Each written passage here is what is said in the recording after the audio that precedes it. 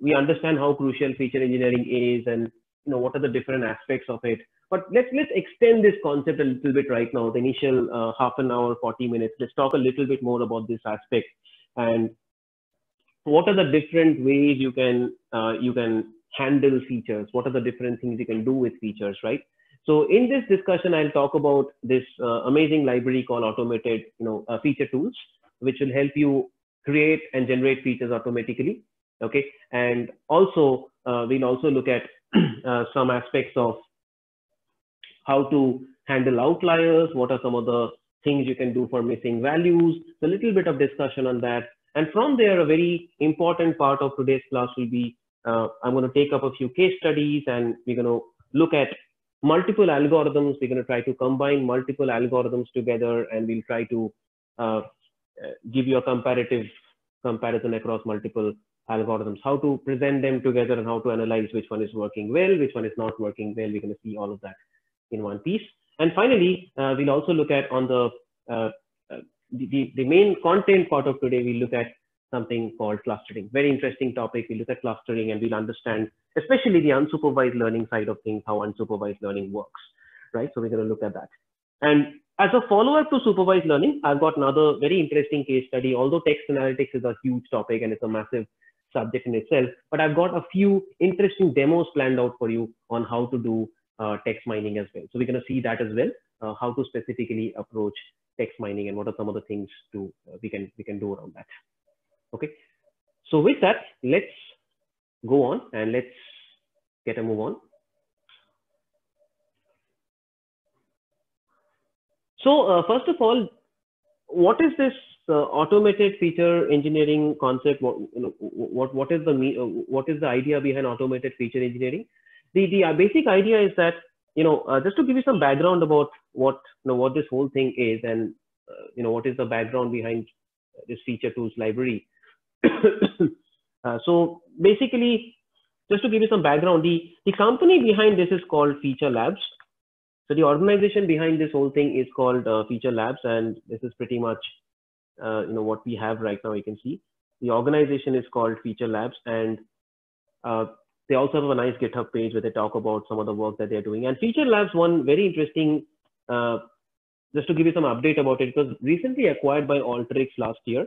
so Alteryx uh, acquired Feature Labs last year, and just to just goes to show how much of how much of uh, you know, importance is placed in the feature engineering side of things. Because I think we've discussed this enough, garbage in, garbage out, all these aspects we've talked about a lot. I think it just goes to show how important uh, generating good quality features are. And I think data, you know, uh, domain knowledge and all is absolutely uh, crucial. No doubt about that. But generally speaking, we are looking for techniques through which we can automatically create features. And wouldn't it be amazing if I can have a uh, automated way of generating features. That's pretty much what, what feature tools gives us. And the parent organization behind that is what we call feature labs. It's the parent organization behind that particular thing. So uh, just to give you some background as to what feature tools actually does. So feature tools, in a way, uh, you know, I'm not going to get into the details around this thing, but just to give you some use cases and ideas as to how it works. Uh, it kind of does a permutation and combination of different types of operations right? It, it, it somehow does a permutation combination of different types of operations. Uh, so for example, you've got a mean aggregation, sum aggregation, uh, skew aggregation, median aggregation. So there are so many different types of uh, transformation operations you can apply. And what feature tools kind of does is it, it, it, it kind of does a permutation and combination of all these different operations and it starts creating features for you. Now we can of course argue that many of these features are kind of black box features that many of them do not mean anything. Many of them do not uh, convey anything in a very practical sense. But uh, again, having said that, in a way, you can still find some meaning behind these features. So this is the powerful, powerful thing. So uh, without any further ado, let's just quickly see a quick demo on this. So what we have here on the screen, we've got three simple tables. All of you can take a look at it right now. It's a quick demonstration of the capabilities of feature tools and, and feel free to use it. It's not some, it's not some science fiction that we are talking about. And the company has clearly listed out projects that they're doing and they've clearly listed out that, hey, I mean, it, it sounds like black box. I mean, anybody who, you know, like you would have heard me what I said, like permutation combination of all possible operations, and it feels like a black box. It seems like a black box, but unless you unless you actually see the proof and evidence that it works, like it's hard to believe. Like, I mean, that's so. It, it, you know, just to show you the kind of features it creates, this is the kind of features it ends up creating. You will look at it and say, that sign this looks like a complete black box. What is join month minus credit score by log income by minus credit score? How do you even read that feature? But this is exactly what feature tool does. It's pretty incredible. Like just by creating features like this, it's able to probably, you know, like you're still able to create good quality features. It's incredible how it actually works and it's proven. It's proven across several data sets.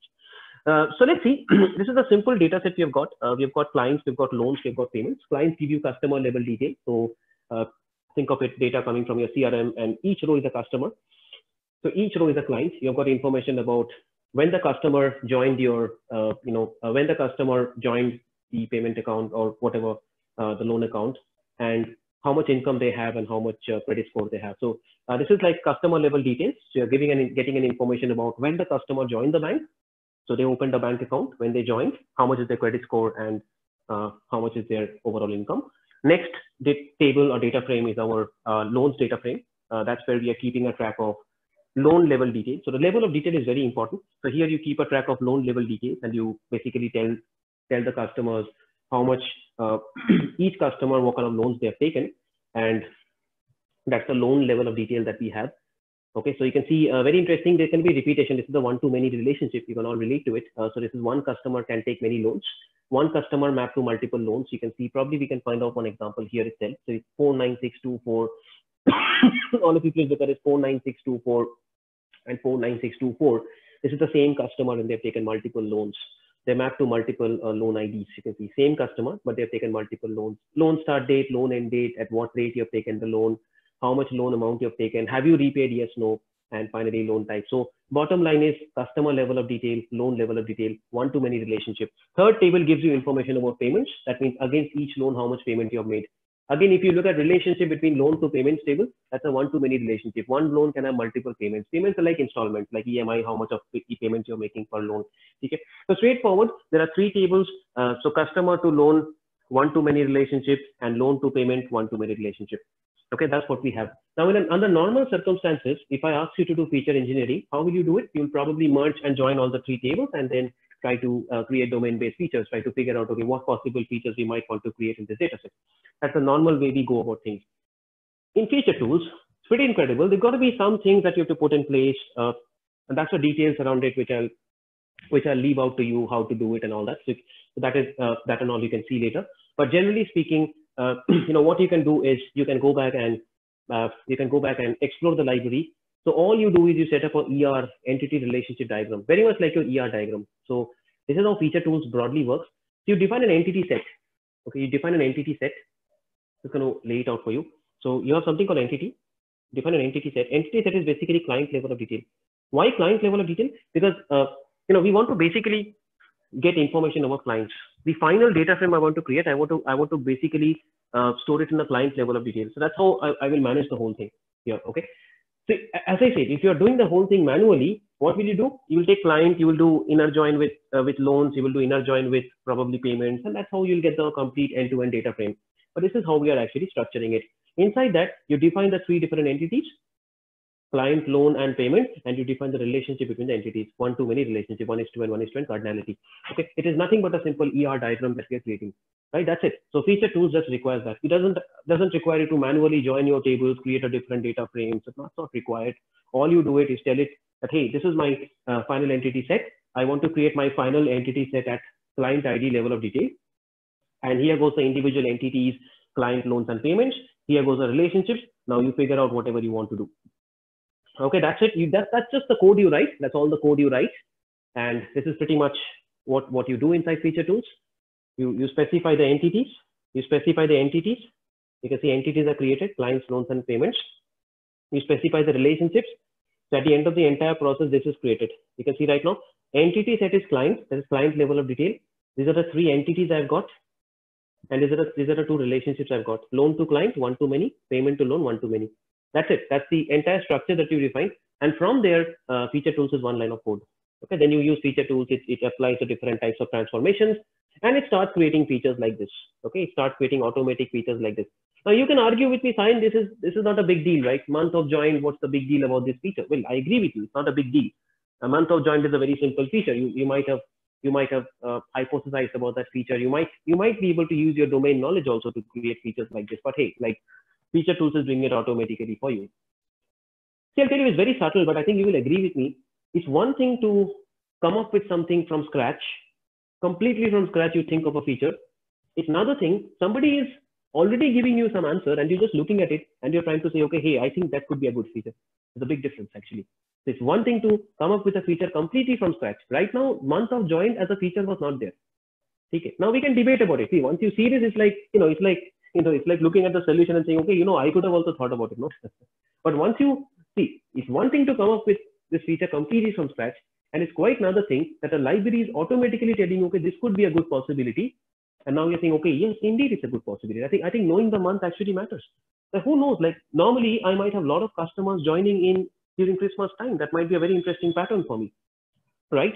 So if I can create a feature of month of join, on the basis of that, I might want to do some modeling. Who knows? I might find a very interesting relationship between month of join and uh, you know uh, the the uh, uh, the default rate. I don't know. I mean something very interesting. Like typical people who typically sign up before Christmas tend to default a lot due to whatever reasons. I'm not getting into all that, but I'm just saying like people who typically join, uh, you know, like before this particular time, typically tend to default a lot. Or people who typically join around this time tend to default a lot or tend to, you know, take these kind of loans. I might find some correlations out of nowhere.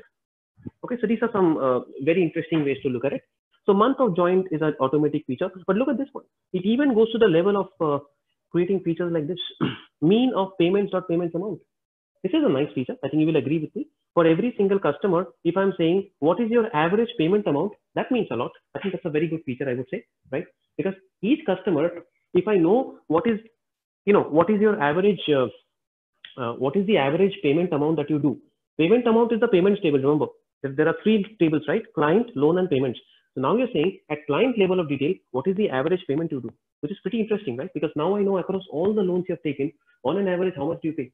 So uh, I'm just getting to understand a little bit about your repayment uh, ability. Okay, little bit about, and hey, this need not be mean. It could be max, it could be min, and you get so much about it. You can even get standard deviation of payment amount, right? Standard deviation will give you something very interesting about the customer. You know what, what it will tell you? If you calculate STD of payment amount, that will tell you how, how fickle-minded the customer is. Maybe this will be a very interesting uh, attribute for me. Because if I if I can say that for some customers the payment amount is actually very the standard deviation is very high, you know what it means? That means the customer is probably very fickle-minded, not a reliable customer, not a very reliable customer. Sometimes the customer is paying a lot, sometimes the customer is not paying a lot. It's all over the place. That's the problem. These are beautiful features, which again, just purely based on domain knowledge, it will take you a lot of time to come up with these features, but feature tools will create automatically for you.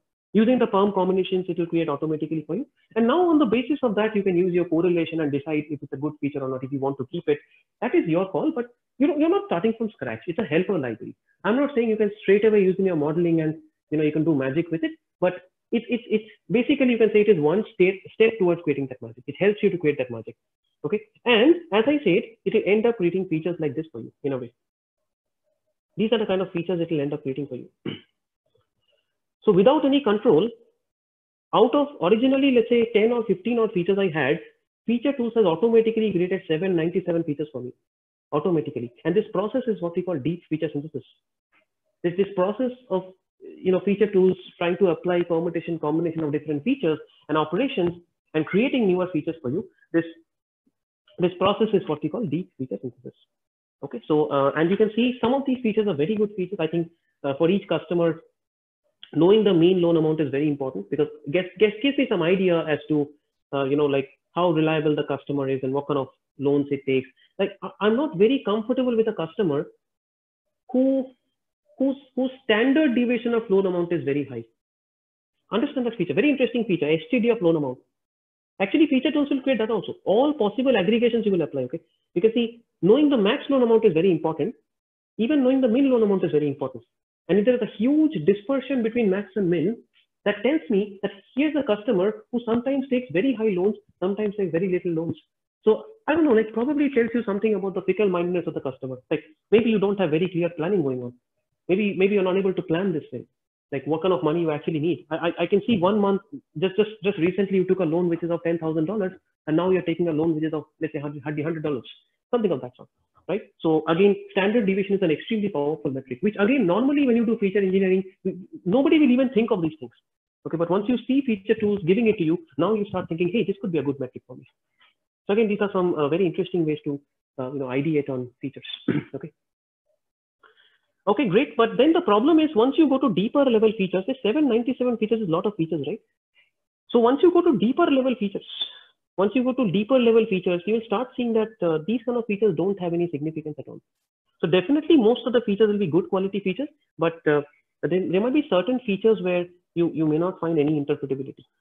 Okay, you may not find any, any obvious interpretability coming up in, in these aspects. Okay. But hey, like there's one other very important thing I do want to clarify. The reason why we get into these kind of black box approaches, okay, one of the important things is because correlation, correlation does not imply causation. Very important. I know we talked a lot about correlation the other day, but I think it's important to clarify this part. Correlation does not imply causation.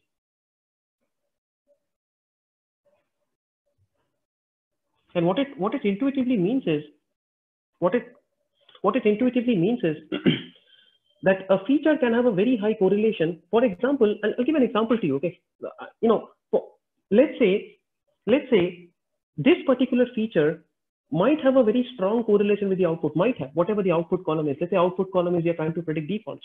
Could be. I mean, I don't have a default column here. But let's say it's a classification model where you're trying to predict defaults. And these are all possible features you have created. Now, how do you do the modeling now? This is all feature extraction, by the way. Polynomial features was one kind of feature extraction we discussed, black box features. This is one more kind of automated feature extraction we are discussing. So now you create 797 features, but will you use all 797 features to uh, kind of predict default? Of course not. Now you will use that uh, feature importance we discussed yesterday. Uh, you know, you will do it that way. You try to decide which features are important features. So correlation is what you're looking at. Correlation in this case means separation, feature importance. But does it always imply causation? It doesn't. So although a particular feature might be very strongly related to the default column, you know there's a very strong correlation that exists, but can you always explain the cause? You cannot. What is the cause? I don't, I myself don't even know what this feature is, but the math beautifully adds up in certain cases. So not always will you find an explanation and we are okay with it. This is where machine learning starts becoming more of a black box and you're okay with that. That's again a game of trade-offs. It's what we call the accuracy interpretability trade-off. If you want to build a highly accurate solution, you have to try out techniques like this. Hey, who knows? You're creating magic. You're creating magic out of unknown features which you cannot interpret, but maybe, maybe the permutation combination of these features are creating something new that we would not even have fathomed in this particular domain. It's a beautiful way of kind of coming up with newer features, which, which there is a correlation, which is the correlation, but there's no causation because we ourselves don't know what the feature is. This is very, very important and it goes to you know so many different uh, use cases of this particular thing. If i have to list out a few other very interesting use cases. So walmart actually had this case study. You, uh, you know like uh, just going to list out this very interesting case study from walmart that they uh, conducted. And they actually found that they actually found that uh, people typically tend to buy lots of strawberry pop tarts during hurricanes. Next time whenever a hurricane is about to strike the, the, the sales of strawberry pop tarts went up drastically they observed a correlation. Can you can you find causation? You cannot. There's no causation there, guys. There's a strong correlation. There's a very strong correlation between uh, you know hurricanes and strawberry pop tarts, but there is no causation right now. There's absolutely no causation in this process. You can't explain causation. I mean, yes, you can obviously go back and do a separate behavioral study, understand why. But hey, like hurricanes, people will like to buy torchlight, you know, torch, maybe uh, uh, batteries, dry fruits, right? You're preparing for a natural disaster, right? You might want to get some, you know, dry fruits and stuff. But pop, pop tarts, like I don't know, like maybe pleasure food or something. Okay, whatever. I mean, there can be different reasons to interpret that, but primarily looking at this result on the face of it, I'm sure all of you are surprised with this. But generally, if you think about it, maybe yes, you can find some, you know, like we can always find interpretability out of anything. Maybe you can still analyze and say, okay, maybe this is healthy, this is easy to eat and all that. We can always argue about it. But still, on the face of it, it's, a, it's an amazing correlation. Nobody will even think of it in, in the first. The data science will give you wonderful associations like this generally. Okay, Walmart had another very famous case study that they conducted, which I'm sure all of you have read about it, heard about it. Uh, just to further, uh, you know, expand on that concept. they did another very interesting uh, case study where they where they said that people who buy a buy beer also buy diapers. I'm sure all of you would have heard about it in some capacity, right? So beer diaper, the impossible correlation. So they found that this was a case study they conducted long back. The initial Forbes article came out in 1998. So this goes like uh, more than two more than two decades back. You can see how old that particular case study. So association rule mining, association analysis has been done for a long time. It is not a new topic at all, just to clarify. And there goes the impossible correlation, the beer diaper correlation. So we found that people who buy, buy beer also buy diaper. People who generally buy beer also buy diapers. So again, correlation is strong, yes. We are seeing a pretty strong correlation between these uh, between these two items. But uh, can we infer any causation? Can we say why it happened? Why why people are buying beer and diaper together? Well, on the face of it, it sounds like it's like sounds like something impossible. But I mean, once you start taking a deeper look at it, I think it, it becomes clear what is happening, how it's happening. So just by looking at correlation, uh, the bottom line is a feature might be an excellent predictor of the output. The maths might work out beautifully, but you may not necessarily be able to explain why it's happening. So this is one of the uh, important things I wanted to highlight. And feature tools, again, uh, one of the reasons why it's only very recently, I'm saying these are things that are very, very new that I'm talking about right now. Uh, this this acquisition happened only last year, October 2019. We're talking about, and and there's a very high amount of renewed interest in this field right now. There are not many libraries. I'm quoting one of the best right now for you, uh, but there are very few companies that are actually doing this work of automated feature engineering. It's such a such an important thing. If I can if I can have a machine or AI automatically generate features for me, then we are not required actually. Tomorrow there's no use for, for, data scientists like us. Okay, you get your data set, put a data set, the model will auto automatically figure out, okay, you know what, these pieces are the best features, put it in, and hey, out comes the model for you. Then where is your need? If You may not have any need after some time, okay? But yes, obviously, you know, human beings will still be required because uh, people look for some amount of interpretability and domain will never go away. One of the reasons why machines will never quite take over in a way. So we still need uh, human intervention in some capacity. Okay. So one of the things that we do, so as you can see here, uh, we are creating 797 features, which is obviously a, a, lot of features. But one, one of the ways to limit this is to probably go back and use depth. Generally, we use something called depth. And what we do using depth is we say that uh, we are limiting it to only uh, two, two levels. That's the way to look at depth. We're limiting it to only two levels. The original one that I showed you, there was no limits I imposed. I let it, uh, you know, I let it grow freely. I let it to even four, five levels deep it went. but beyond that level, the features become very, very uh, uninterpretable. They become like black boxes. Okay. So to uh, keep some interpretation component, you're just putting a depth of equal to two. All right. So uh, depth of equal to two basically means two levels of aggregations we are doing. Okay. So uh, can anybody interpret this feature for me? What it means? Last of mean of. See again, let me tell you once again, if you normally do feature engineering, most likely you will not even think of this feature. Generally, I mean, I'm, I'm telling you, like if you just take the data set as it is, maybe it will take you a lot of time to come up with this feature. Now, if I use feature tools, feature tools automatically created this feature for me. And now we are looking at it together and we can beautifully interpret this feature. It's a very powerful feature, by the way. Anybody wants to tell me what it means? What does this feature mean? What does it convey?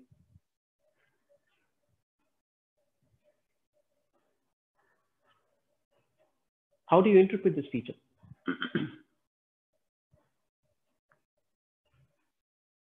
Take a guess. Take a guess, guys.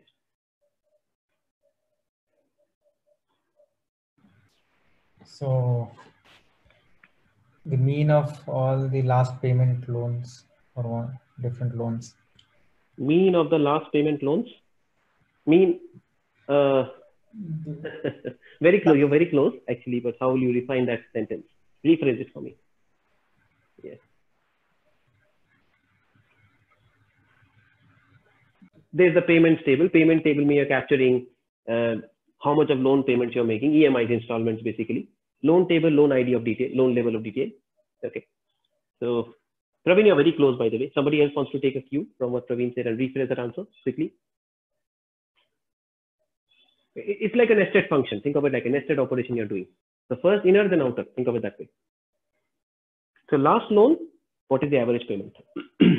mean of the last payment one mean of the last mean of the last payment to the loan no no no no no no okay so what it means is uh, so what it means is look at the last okay look at the last loan remember all of this at the client level of detail right So go to the loan table, search for the last loan that the client took. Last loan on the basis of loan date. Okay, get the last loan that the client took. Okay, and for that last loan, what is the average payment? What is the average payment you made in the last loan? Straightforward. This is a very powerful feature, by the way, because if I am trying to uh, decide whether to give you a loan or not, I would like to know how much payment you made in the last loan. It's a very important feature. And I'll tell you, you can combine these features along with repaid. There was a repaid feature, and there is so much of feature engineering you can possibly do. It's just amazing, like incredible. Like once you have this raw data, uh, you know, we, we had like repaid feature, we had this feature. It's so incredible how you can combine these features now. Once now, now you start thinking about it. See, initially, if I just give you three tables, three blank tables, very hard to come up with these features, right? But now that you get some direction, now we can start discussing, okay, Shine, you know, like this is one feature we can create. Possibly, we can also create a feature like this, you know, like how many times count of, maybe count of, uh, you know, like look at the last loan, look at the last loan, and the last loan you have taken, what is the count of, what is the count of repaid? Something of that sort. Like last loan, how many times you repaid? Uh, sorry, not not repaid. Sorry, how many times you maybe standard deviation? Okay, sorry, last loan repaid repaid value. So you're basically looking at what is the count of what is the count of repaid? How many times have repaid? Okay, and maybe we can also say the last loan did you repay or not? So we can look at last loan and we can say did you repay or not? So was the last loan repaid or not? So so many uh, you know amazing features we can actually get. Okay, and we can also set a standard deviation of payments. So I, I, I want to specifically understand how was your behavior in the last loan? What was the average payments you made? What was the standard deviation of payments you made? What was the skew of payments you made? Skewness, very interesting. I mean, again, these are features people will generally not fathom, right? But you can actually create a feature like this. You can say last of loans, last of loans dot skew. Skew is another function you can use. Dot skew and payment amount. Very, very powerful feature, by the way. You know what it tells you? It tells you that, hey, this was the last loan you took. And in that loan, you made several payments and the skewness of your payments looks somewhat like this. Very interesting. This might tell me something very interesting about the customer. Might tell me that, okay, average, you, you paid this much, but hey, there was very high right skew. That means most of your payments were average to low and few of your payments are very high. So not a very consistent pair. Most of the months you paid very low and one of these months you paid very high. Not a very consistent, uh, you know, uh, uh, pair. So standard deviation very high, skewness very high. So I'll be concerned about this customer. Something of that sort.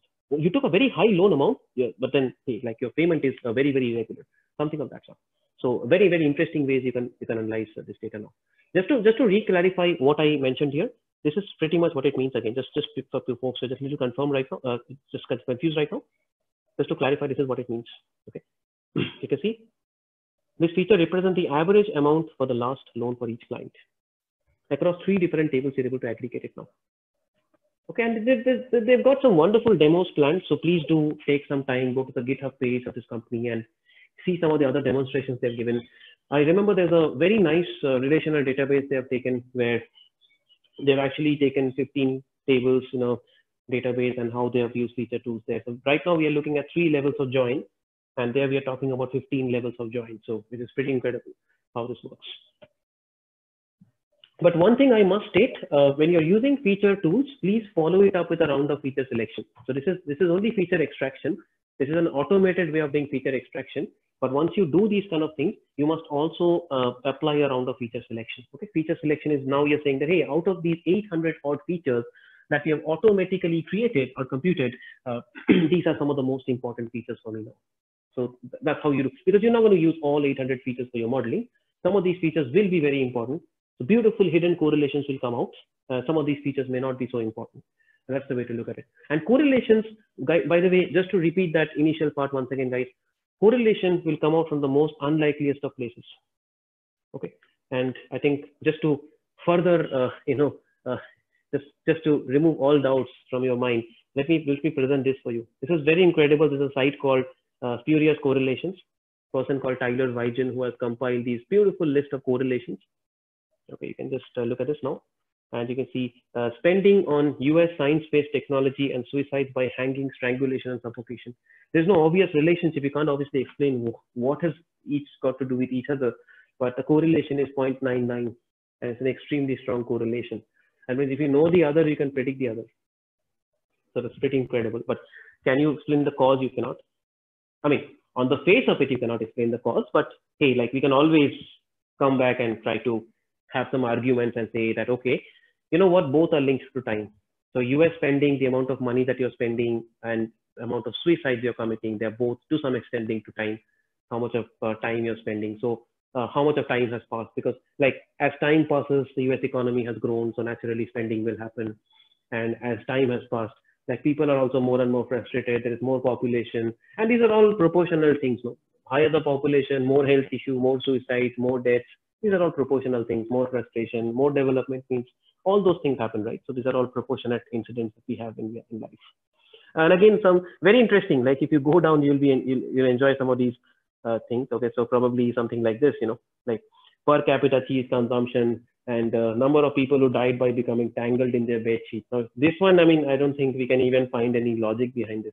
There's no logic, but you know, as I said, correlation can come from the unlikeliest of places. You just take one data set from here, one data set from here, you know, wrap into two columns and hey, X versus Y we're looking at. But does it mean anything? There's no obvious causation, but it's like, it's more like, it's just correlation, right? These are what we call uh, spurious correlations.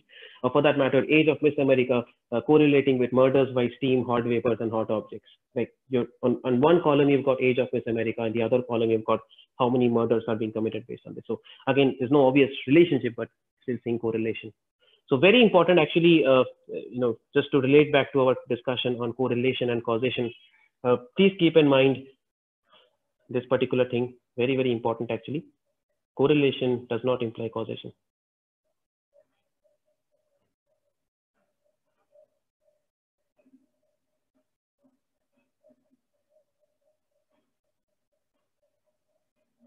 Okay. And just to finally add one more interesting use case to this whole thing, if I give you one final use case, we have all these uh, health bands nowadays, the smart bands. Okay.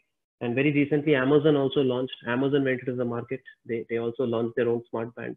I think hardly two days back, two to three days back, Amazon launched one of their uh, smart bands. And very interesting, Amazon smart bands even measures your emotional profile, which nobody else is doing. Everybody else is tracking your health and your sleep hours, heart rate and all that. But Amazon is claiming to kind of uh, measure even your heart, uh, sorry, your emotional uh, profile. Very, very interesting actually. Like they probably trying to correlate your health and your heart beats and your sleep and these are obvious patterns no guys like if you sleep well and if your heartbeat resting heart rate is less then i think generally you're a you're a happy person and maybe they're trying to predict some mood and all that like mood prediction there's so many like the possibilities are endless in, in healthcare what all you can do actually okay so I, I wouldn't be surprised if uh, you know we have reliance Jio coming into this market so they've captured everything right now you've got Jio fiber and they, they're probably giving it for free now you know recently updated their plans and probably the last thing we need is Jio to come in and you know take over the health space, which they're doing. Obviously, they're tying up with some of these uh, med tech companies, and probably you might have a smart band from Jio, like what we have Jio phone, and you'll have everybody wearing those smart bands a year from now. Okay, so uh, the example that I wanted to put forward here is uh, steps versus weights.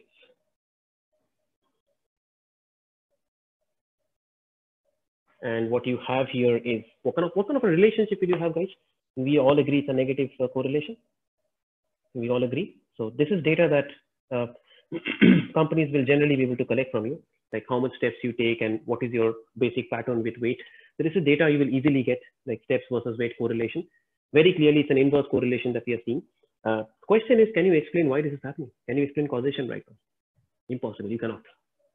If you think about it, you cannot explain causation right now. You can explain correlation. You can say that as X increases, Y decreases, the Y but you cannot say, because I'm taking more steps, I'm losing weight. You cannot say that.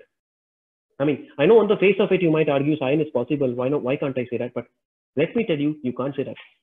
One argument could be that because you're taking more steps, you're having lesser weight, right? That is the obvious argument that because I'm walking more, I'm, I'm losing weight. That's the obvious argument. But hey, what about this argument? Because you're already very heavy, you're taking less steps. Possible, right? So now it depends on where you start from. What is the context? What if you look at it from this perspective? Because you're already heavy, because my weight is already so high, I cannot walk. I'm unable to go to work. So I'm anyways taking lesser steps. So very important, again, correlation doesn't, so you're seeing an inverse correlation, but that doesn't mean that because of this, this is happening or this, no, could be anything. Like for example, the suicide versus uh, US spending, None of them had a correlation. Time was causing both to happen. As time has progressed, economy has grown and population has increased. So there's some hidden latent variable that is impacting both.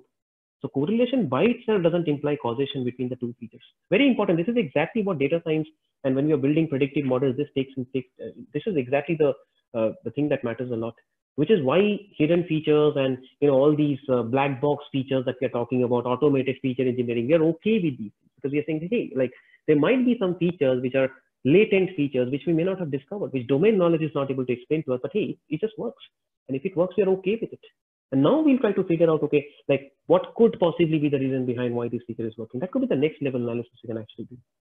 Okay, and from a from a customer point of view, I'll, I'll tell you like uh, the story was very different maybe a few years back. Even a few years back, customers wanted models to be built which were highly interpretable.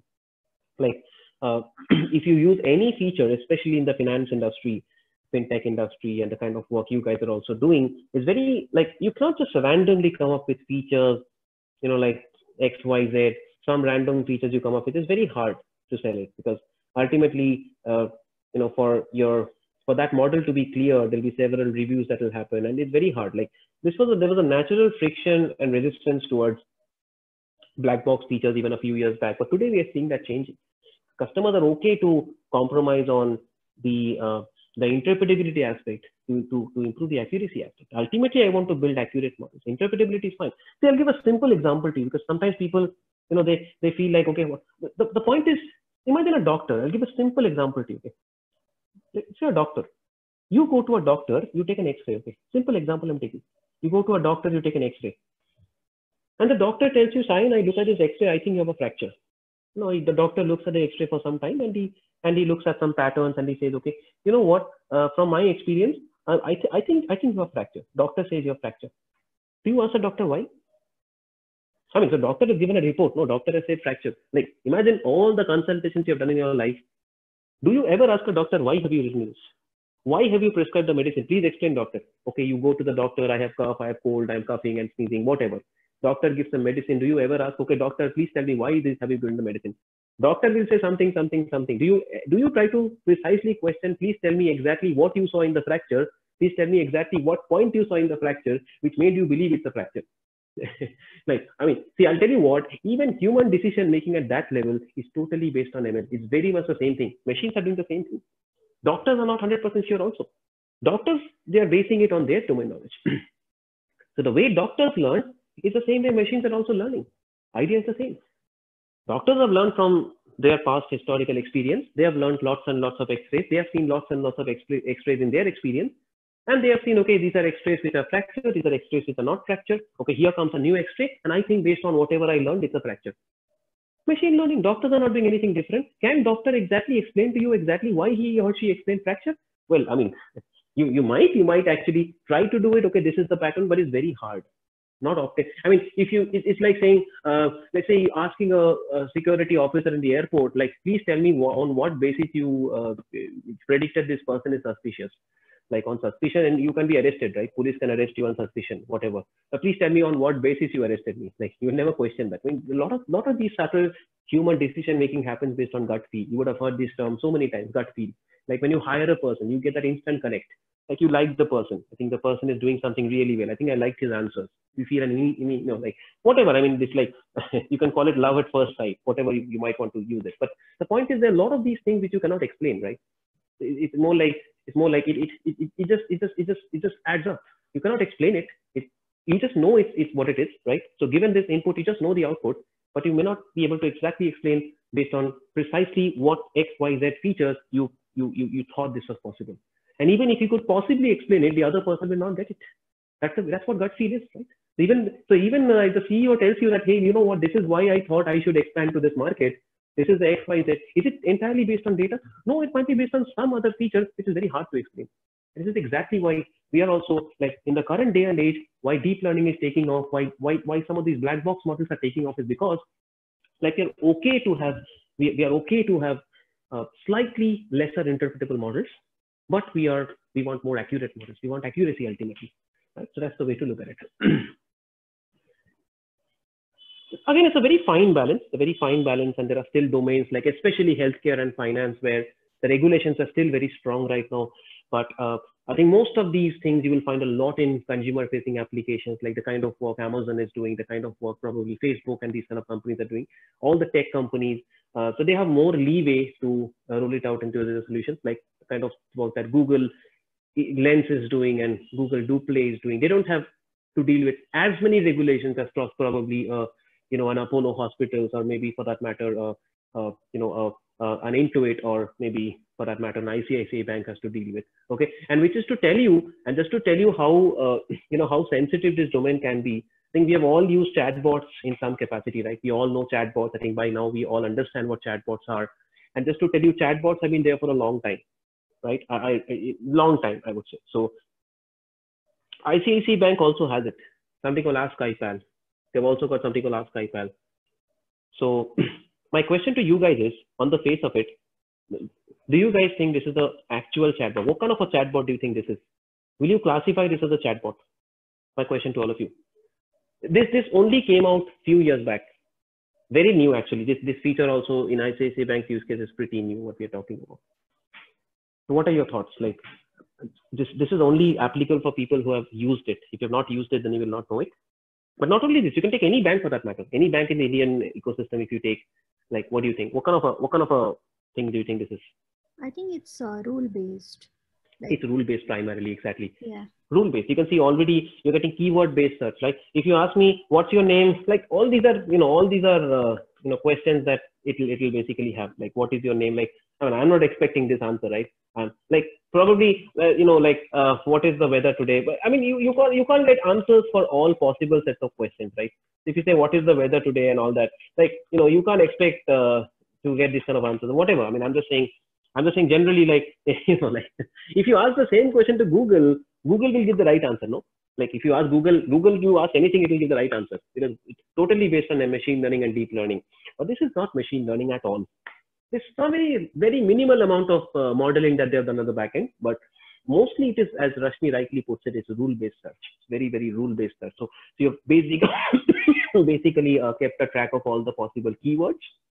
You've kept a uh, you've kept a track of all the possible keywords and now you're basically saying okay uh, you know what uh, so, so, given the you know given the uh, question consists of these these these these keywords i'm going to give these these these these options and if the first customer chooses this particular option then uh, you know this is what the results are going to look like this is pretty much how the whole thing works out in this this context okay and of course, like, you know, if you if you ask it what is the best, so obviously you can say it's the wrong answer. If you say what is the best mutual fund I should invest in, like, do you expect an answer here?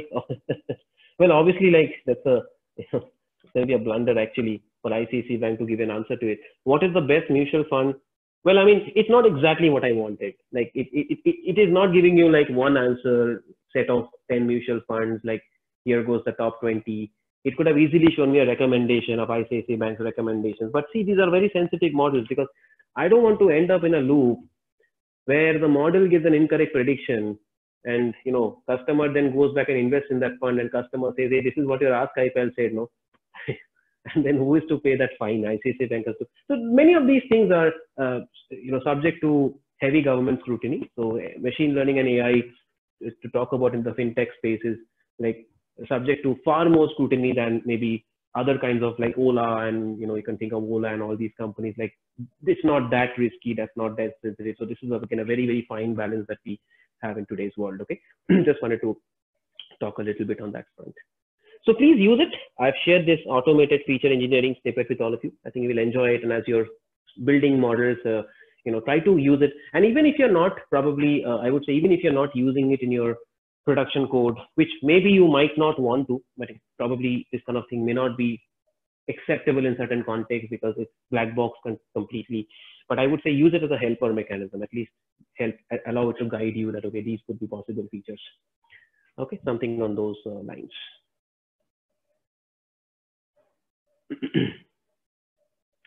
what I want to do right now, uh, I do want to take a step into another kind of classification problem. We have talked a lot about classification uh, you know, yesterday. And today I want to start off with another very interesting kind of problem, but this is going to be on a textual data set. Until now, we have not seen textual data, uh, but what I want to do right now is give all of you a very small and very subtle exposure to how you handle textual data, just to introduce you to the beautiful world of NLP, just so that you get an idea that, okay, given a textual data, how do I convert it? Please remember, uh, you have to understand all the machine learning models that you're talking about, whether it's a regression model, whether it's a classification model, all the machine learning models, ultimately, they are mathematical equations. You're trying to uh, create some kind of a function approximation that maps a y to an x, x to a y. Okay, that's what you're trying to do. So you cannot directly use unstructured data as it is. If your data is in image format, if your data is in a textual format, there has to be a strategy that you use to convert that data into a, numerical format. That's a very important thing to do initially. Okay. Now, question is, how do you do that? How do you convert this data into a you know numerical format? How do you convert this kind of data into a numerical format? Right. So, so this is a, a Yelp dataset. Yelp is a review site. Uh, you might have heard of Yelp. Okay. And these are all real data that we are looking at right now, just to give you a sense of what we are trying to achieve here. So this is this is one uh, of these reviews that you're looking at text. So text looks somewhat like this. Uh, you can see I have no idea why some people give and I love the gyro play. The general manager Scott Patello is a good egg. That means it's a very positive review. The text will consist of the review information. And then finally, uh, you can look at the, uh, the business ID. The business ID is the establishment ID basically, like which restaurant we are talking about. Uh, the date will give you some information as to uh, which date the review was given. The review ID is obviously the uh, unique identifier that maps the review. And the stars is basically what you're trying to predict. This is effectively the uh, how much of stars you have given effectively. Okay. So at its core, to simplify it, we are solving a sentiment analysis problem. What kind of a problem are we solving? We are solving a sentiment analysis problem. So you're trying to predict in a way uh, what is the sentiment of that person. Sentiment analysis model is what we're trying to build. Okay, so text type, uh, user ID. User ID gives some information about who the users are okay and uh, finally we have got some other last three columns you can ignore that like cool useful fun you can ignore that so just to clarify the crux of what we are trying to do a quick high level two minutes on this. Uh, this is a sentiment analysis problem. We've heard a lot about sentiment analysis i think in the web. Uh, typically this becomes very prominent in election campaigns and all right? Sentiment analysis is a is a buzzword right? And it's a, it's a very very uh, you know useful thing that companies do nowadays okay? But just to just to you know get away from all that theoretical hype and come back to the bare bones of what we are trying to do there, uh, we have got some textual data and we are trying to classify whether that textual data is positive sentiment or negative sentiment. Now the textual data can be a review. The textual data can be uh, it can it, it can be anything. It can be in any medium, right? It can be a tweet in Twitter. Maybe let's say Narendra Modi tweets something. Okay, I'll just give you an example. Let's see, he has a Twitter account and his Twitter account is manned by, you know, like a lot of big people sitting in the IT team, BJP's IT cell, and they manage it. He's not, he's not going to sit in Twitter and do all the big people, right? So they're not going to, you know, reply and all that. So there are people managing his Twitter account, and there's a lot of data science that goes into the, uh, you know, like uh, some of the work that they do. So, uh, so they will look at his Twitter account and they'll try to, uh, you know, figure out that okay, this person posted this kind of a comment, so okay, the review of this comment is supposedly positive. Okay, so you write something about Independence Day and a lot of people start commenting on that particular tweet and it's public data. So you can actually get it. I mean, please from your account, you can, you can scrape that data. You can analyze, okay, this is what people wrote. This is the comment that people wrote. And based on whatever classification model I already have with me, the comment is categorized to be uh, positive with 69% probability. Okay, now you can get something very interesting. You can basically get information about uh, the average sentiment level for that particular tweet. And see, like there will always be lovers and haters, right? That's the, that's that's how the world works, right? Nobody, everybody will not love you, everybody will not hate you. There's always going to be equilibrium. So you know, no matter how good you are, that's that's that's how the world is, right? So now the point is, uh, you know, here also in Modi's case, what will happen is probably for that particular tweet, they will want to look at several different metrics. Now, what are the possible metrics they might want to look at? Like, what are the possible metrics they might want to look at? Uh, so if I just have to represent this whole thing here, so for that particular tweet, there can be several comments that are come up. There can be several tens of thousands of comments that are coming. 20,000 comments, let's say, on that particular tweet. each comment is like a text. Each comment is like a text. So you already have a trained classification model that you have already trained. Remember, this part is important. In, you, you already have to have a classification model trained. Okay. This is not your training data. This is the model working in production, just to clarify. So even before you use it here, you better have a trained classification model. so let's say this is my model. This model is able to take in any review and is able to classify it as zero or one based on negative or positive. Simple example I'm taking. Practically, we discussed yesterday, we look at predict probas. Probability of prediction is more relevant, but I'm just taking a simple example. Here, you will just take a review and classify that, that review as negative or positive. Simple. Okay. Now, now, uh, so, so let's say here comes review one and you say this is a negative review. Here comes the second review, positive review and stuff like that. Right? You can go back and classify each of these reviews in this fashion. And now we can basically do a count. And there's so much you can do now. You can basically look at a count. You can look at how many people rated positive and all that, right? You can create a histogram around it. And there's so many amazing things that, that you can do on this right now. Okay, so out of, for, for one tweet, you can generate an entire plethora of statistics showing that, okay, how are people across the country generally responsive to your tweet? So most people were positive, most people had negative sentiment, a few had negative sentiment. And hey, you can even plot a histogram or, or kind of a you know, you can plot this kind of a thing now. See, practically, I told you, right? Uh, in practical scenario, we always look at predict probas, right?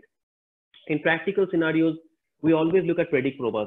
So predict proba will give you probability of positive tweet. Let's say probability of one. Let's say this this this is a 0.1 probability is positive. This is a 0.2 probability is positive. Sorry, 0.1, 0.2 probability is positive. This is the 0.8 probability positive.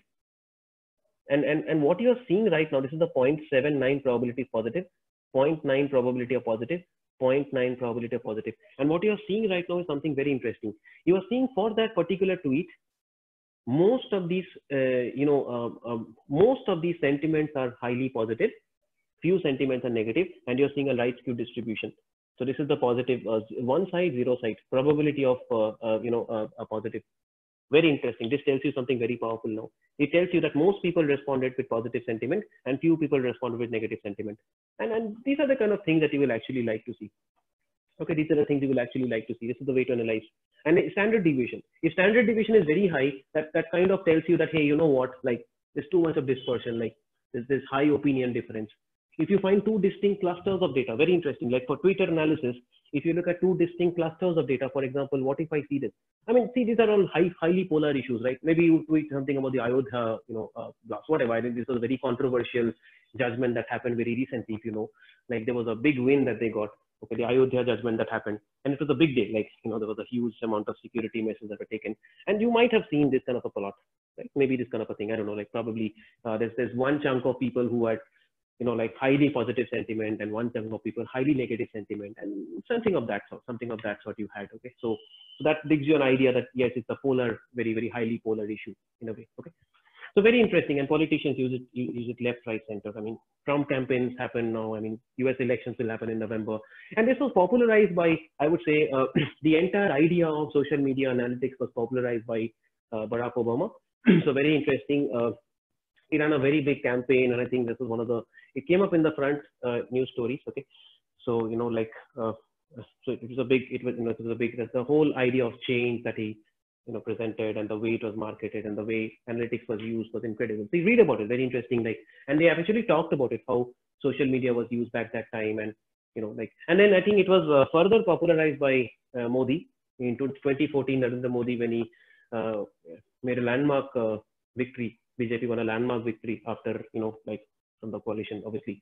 So again, uh, major, major use of uh, social media. In fact, uh, when Rahul Gandhi lost that time, he came to national television and he actually admitted, you can go back to some of the uh, news stories and see, uh, he actually admitted to national television that possibly we could have used data science more.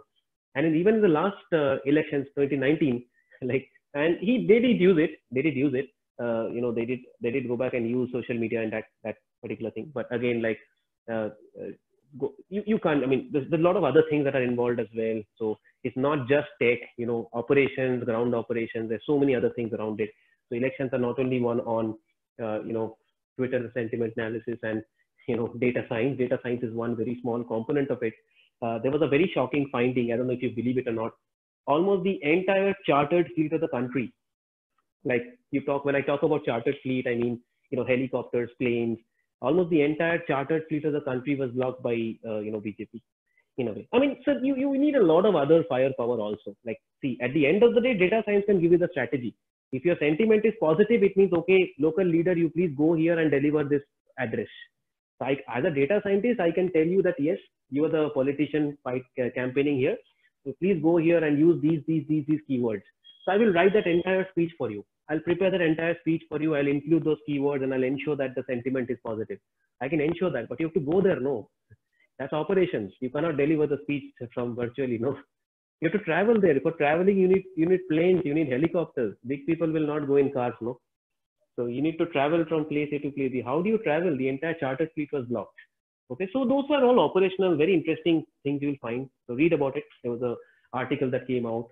Uh, so anyway, so that's a different discussion. The bo bottom line basically is that the when you're doing sentiment analysis, that record can be a tweet, that record can be a Facebook post, that record can be a review in some site, it can be Amazon review, it can be any review, it can be absolutely anything. So that row can be absolutely anything. Just to give you some context of what we're talking, it can even be a book review for that matter. You can can even look at a book review, maybe a book, and you're trying to kind of qualify whether the book is whatever. Okay, so out of all these use cases, what we are talking about, we are talking about a review. So in the in our case, we're looking at Yelp review. So each row, and again, all of this was just to clarify what each row actually is. So each row can be a post, Facebook post. Each row can be a Twitter tweet, tweet, or each row can be a book review. Each row can be a Yelp review, either way. Okay. So this is the sentiment analysis use case we're talking. But is this the only way to use classification in the context of uh, textual data? No, there are so many other things you can do. The moment you can convert your textual data into a numeric format, if you're able to, if you're successfully able to convert your textual data to a numeric format, you can do magic with your models now. You can do so many, there's so many use cases now. Sentiment analysis is one use case. but let me give you one more beautiful use case. This is one use case where you take a review and you try to classify it as positive, negative sentiment. What about other use cases? Look at what Facebook is doing right now. Okay, Facebook is trying to uh, like. There's been a lot of reporting that has happened that people post fake information on Facebook and all that stuff. Right? We have we have heard about it, read about it. And what Facebook is trying to do is they're trying to uh, you know come up with approaches through which they're trying to detect whether a particular uh, post may be fake or not. That's what they're trying to do. How do you think that's happening? Machine learning once again. So they are looking at historical data, they're trying to analyze patterns, and they're trying to detect that, okay, what is the probability that this post is a fake or not? So again, this is a very interesting uh, idea, uh, very hard to do, by the way, but that's exactly one of the things that they're trying to do. You look at a particular thing, you read a particular story, pick up the keywords, pick up all the other information around it, and you try to uh, predict the probability of fake. What is the probability that this is fake? Or what is the probability this is the uh, you know uh, uh, this is derogatory this is violent okay this is racist? Because these are things that facebook will not allow on their platform right? So if, if that is the thing machine learning and ai is helping facebook to predict these things. Is that the only level? No facebook has a lot of manual people also working on the content side. They've hired a lot of people. They faced a lot of flack in the recent congress investigations congressional inquiries right? And they, they actually started hiring a lot of manual uh, labor for this purpose. But obviously, manually it's extremely hard, right? Imagine YouTube for that matter. Such a such an such an extremely hard problem. Okay, I mean it's like saying every minute you're uploading probably you know like per minute you're probably uploading like uh, hours of YouTube video. Even if you want to, you cannot watch all of YouTube in your lifetime, right? That's the statistics. Okay, every minute you're uh, you're uploading hours of uh, YouTube content. Every minute or every second that's the stats behind it. So even if you want to, you cannot possibly see all the YouTube videos. How do you ensure that the content is good? Lest it becomes something like a TikTok, right? There's been so much of flat TikTok has faced, right? Anyways, that's another discussion altogether. But the point is, how do you ensure the YouTube content is strong? How do you ensure the stuff that is actually put up there is good, is good quality? Oftentimes, you would have seen, and this happens quite a lot on the platform. Like you, you see some thumbnail, but when you go to the video, the video is something else and then how do you do that? How do you ensure? Okay. Many of these times, what will happen is when new movies get released, you will find that uh, uh, people will give different different titles. Titles they will change, but actually when you click on that thing, you will find, hey, this is the movie that I'm watching. This movie just got released. and then after a day you will find it taken down. How does it happen? Machine learning is being applied in a lot of things. Google, I mean, Google ultimately, right? You can't compete with Google, can you? so Google is doing a lot of machine learning on the YouTube platform, and in fact, all Google products. So they're looking at each and every video. Video is what is what is that? It's ultimately image, uh, numeric numbers, image data, video data, textual data, all numbers ultimately, right? so they're looking at the thing and they're trying to basically uh, predict what is the probability it is fake what is the probability it is defamatory what is the probability it is uh, you know like uh, whatever it is not suitable or it's not safe whatever that is okay so that's one of the ways they're trying to implement it and of course they're they're looking at a bunch of other information like oftentimes the community reports it. They also take a lot of rich feedback from the community. I mean if you report a particular video that becomes another feature in the facebook thing. So against that feature against that particular video i got this many reports. Okay against that particular profile i got this many blocks and that becomes a feature. If there are too many blocks then most likely this person is fake something of that sort something of that sort. So that's one of the ways to uh, implement this whole thing. Okay? Anyways let's come back to the problem statement. Let's let's see how to implement this specific thing. Uh, to to do this there's a little bit of theory that we have to discuss. A quick two minutes on that with all of you. So natural language is an amazing space right now generally. I mean so nlp so one of the things that i say is you know computer vision largely we have mastered. We have the techniques and we have the ways to do it. Uh, largely computer vision is something that we have that we have mastered in a way because you know there's so much that you have in image data. If you look at you know objects around you and things around you uh, there's not much that will change. I mean it's like tables will look like tables chairs will look like chairs. I mean elephants will look like elephants no guys so uh, if the machine has learned enough about elephants it's not that elephants will change overnight. But i think one area that's changing in a big way is computer vision very very interesting some of the some of the work that we are seeing and i think some of these things you will find very interesting some of these you, you will you will find it very exciting like some of the things that that's happening right now maybe this is something that I posted today. something I posted today in my uh, LinkedIn. Just going to share with you. Just going to share with you. Very interesting. Uh, there was this is a thing called invoice network. It's a deep learning model. Content is very different. We're not getting into all that right now. But just to give you the idea of it, just to give you the idea of what we are using. very interesting. So so so this person, this is not my code. I just shared uh, a, a content from you know this this amazing GitHub repository I found they call it InvoiceNet. Okay, so what it does is it looks at an invoice and it analyzes the patterns of your invoice and it tries to basically extract the components out of it. Remember, see, many of you in this audience, you can argue, Sayan, I can I can use basic, uh, you know, text processing for it, you know, string match and all this. No, that is not the case because invoices can look very different. Remember, you you you go and uh, take an invoice from some company, invoice from some other company. Will they match? Not necessarily. So this is trying to learn those patterns. How incredible is that? and and and you already have the technology for it see will it always give you 100% accurate results not necessarily there are certain types of invoices which it may not work with but the, but we are assuming certain patterns like typically address will come at the top the bill will come at the bottom and the model is able to learn it amazingly and and now the discussion basically is like okay then how do we ensure this model is accurate how do i how do i make it more accurate the way to make it more accurate is you have to give it more uh, training data, give it more training data, show it many, many, many different types of invoices. And here the model will learn ultimately. Ultimately, all you require in a, whether it's a machine learning model or it's a deep learning model, all you require is inputs and outputs. You just define what is the input, what is the output, let the algorithm take care of it for you. You specify, okay, the inputs are, you know, A, B, C, D, E. In this case, the input is basically the image. The output is basically uh, what you're expecting, the invoice amount, the GST, whatever the tax rate is, all of that is the output. And the, the network learns on the basis of that. It's a pretty complicated model if you think about it for a second. There's a lot of uh, CNN being used here. There's some amount of uh, sequential modeling being used here also. So pretty complicated use case. And, and hey, like if we can master this, I, I think the day is not far when uh, we will have you know, machine learning models uh, able to you know read financial statements. You know? it will be amazing. Like you, you have all these highly paid investment bankers, you know, working on mergers and acquisitions. But what if we could automate the entire M&A process? So that's that. I think that's very far fetched, but probably uh, we are looking at an era where that happens very soon. Okay. Okay. So uh, coming back to the piece.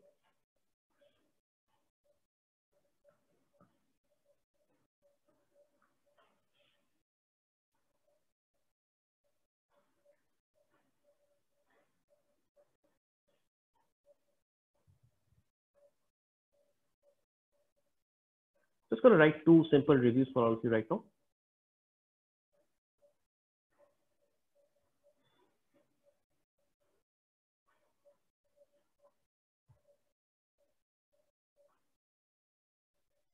All right, and now what we have to do is we have to convert these two reviews into a numeric format.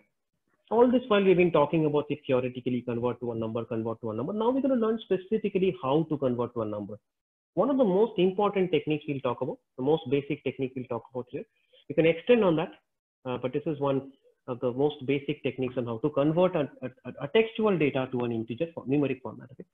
So what we do is we extract the text uh, the words out of it. So we look at this entire uh, textual data and what we do is, sorry, we basically extract the words out of it. What are the unique words, which we call a vocabulary. So please go through all my reviews and please extract what are the unique words that have been used in the reviews. Okay, so please do that. So what are the unique words? Cat and good. Okay, simple enough. Okay, you might question me, Sayan, why have you not used this? Because is is what we call a stop word. So we also make it a point to remove stop words. We call them stop words. What is stop word? Stop words are redundant words.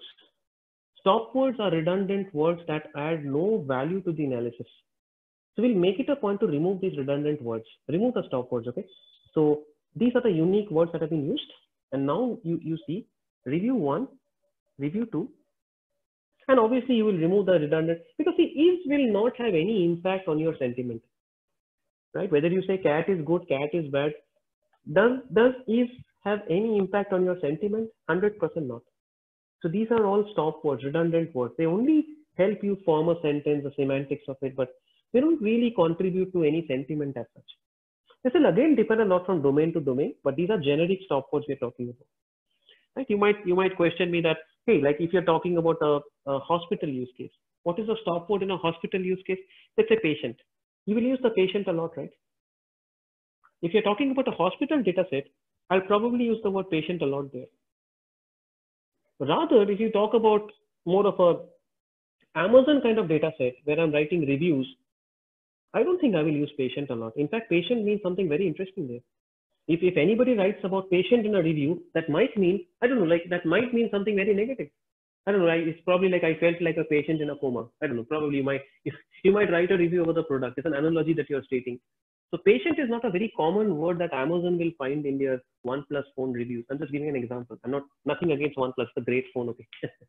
so, uh, but let's let's just say that somebody puts a review saying that I, I felt using this phone, I felt a patient in a coma, something of that sort.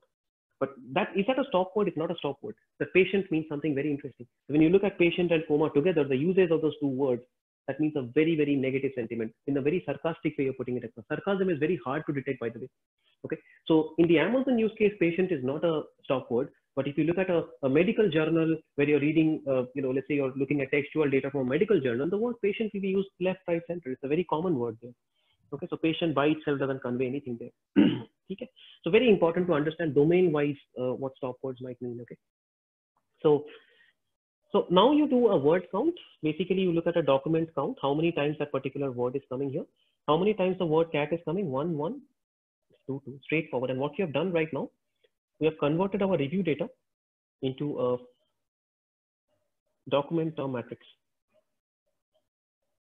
All of this is one line of code. I'm going to show you the code in a second. All of this is one line of code, document term matrix. And this is what we call DTM. You convert this into a document term matrix, and that's your DTM. Document term matrix, uh, uh, you've got documents along the rows and you've got terms along the columns. Terms are basically tokens. Think of it like tokens. Tokens are, are are uh, the smallest individual element of a word, uh, you know, of, of a textual uh, data. Tokens are the tokens or terms that are the smallest individual elements of a textual data. Those tokens could be words, or those tokens could be, you know, the, these tokens could either be words, or those tokens could be individual characters.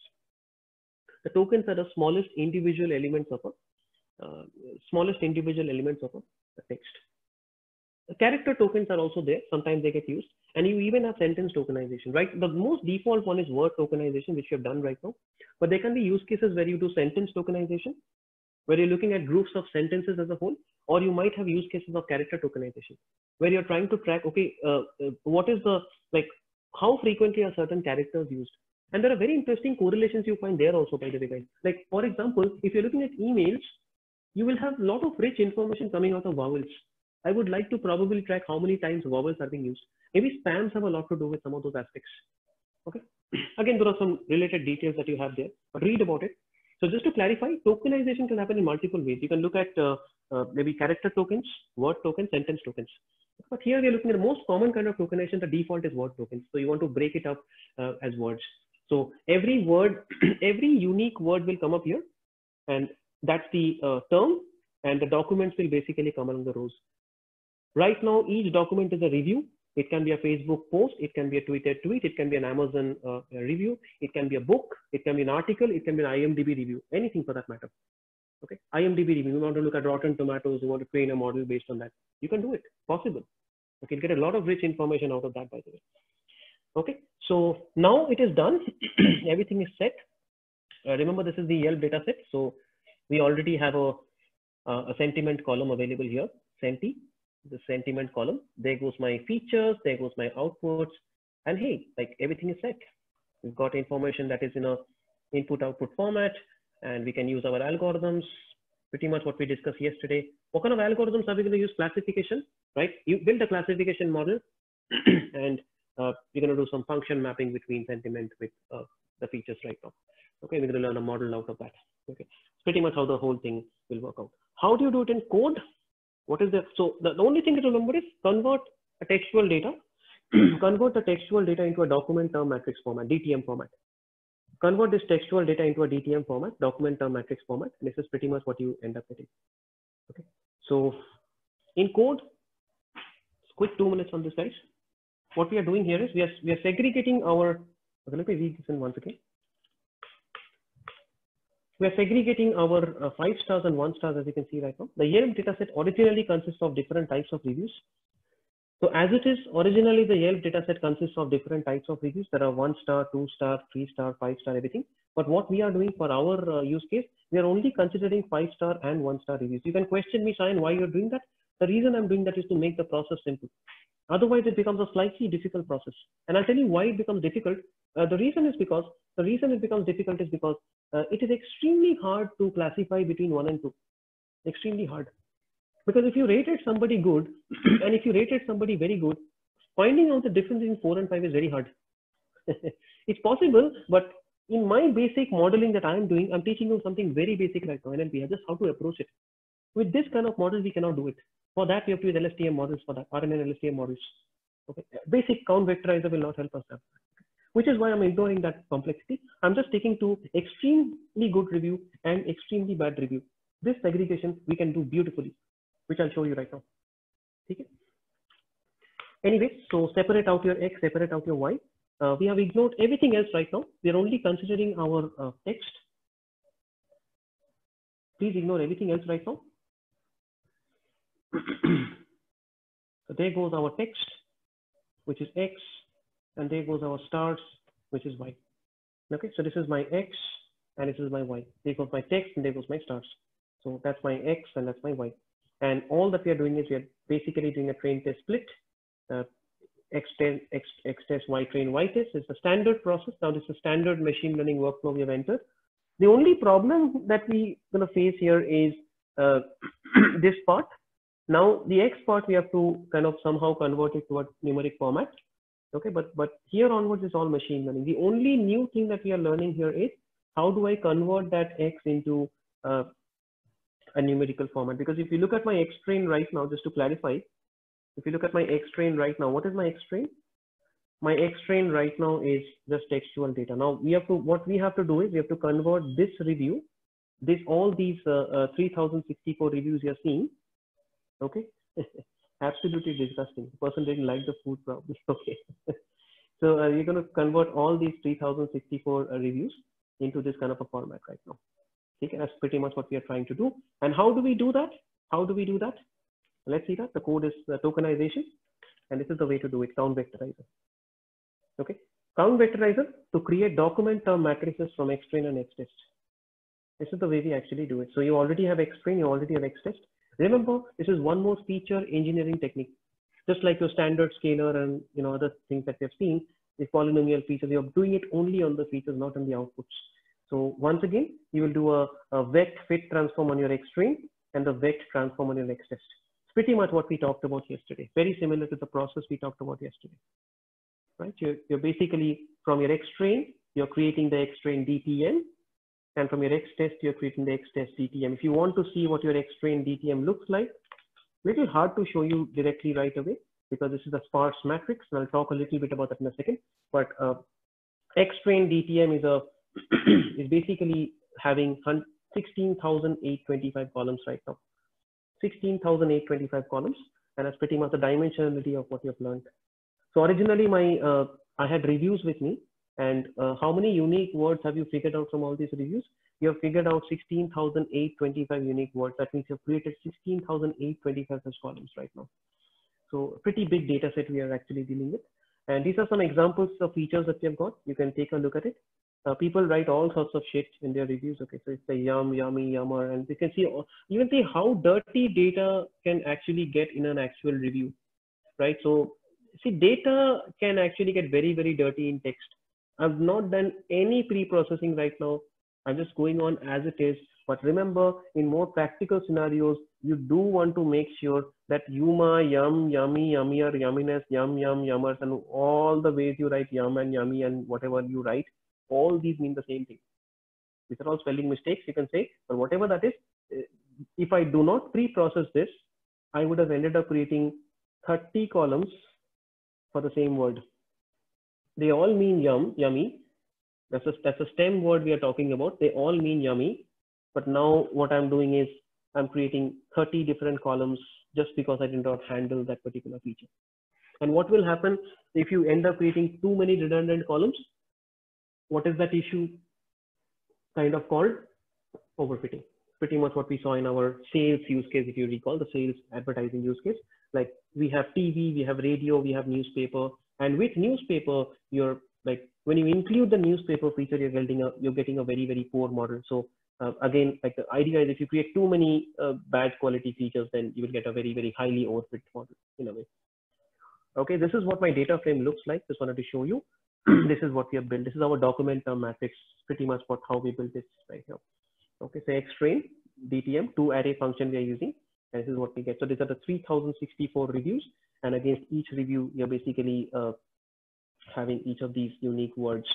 And if you see, remember there was a term I, I used some time back called a sparse matrix. And this is an excellent example of what a sparse matrix looks like.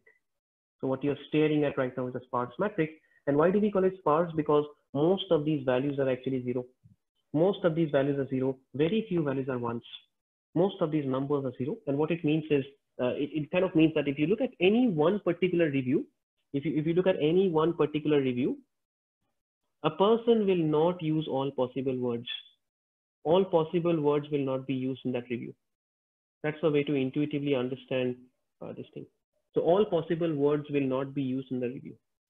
So uh, there are there are 16,825 uh, possible words. Like you write a review, will you write? Will you use all 16,825 words? No, you'll hardly use 50, 100 words, guys, okay? And that too, you'll repeat many words like am, is, the filler words will come.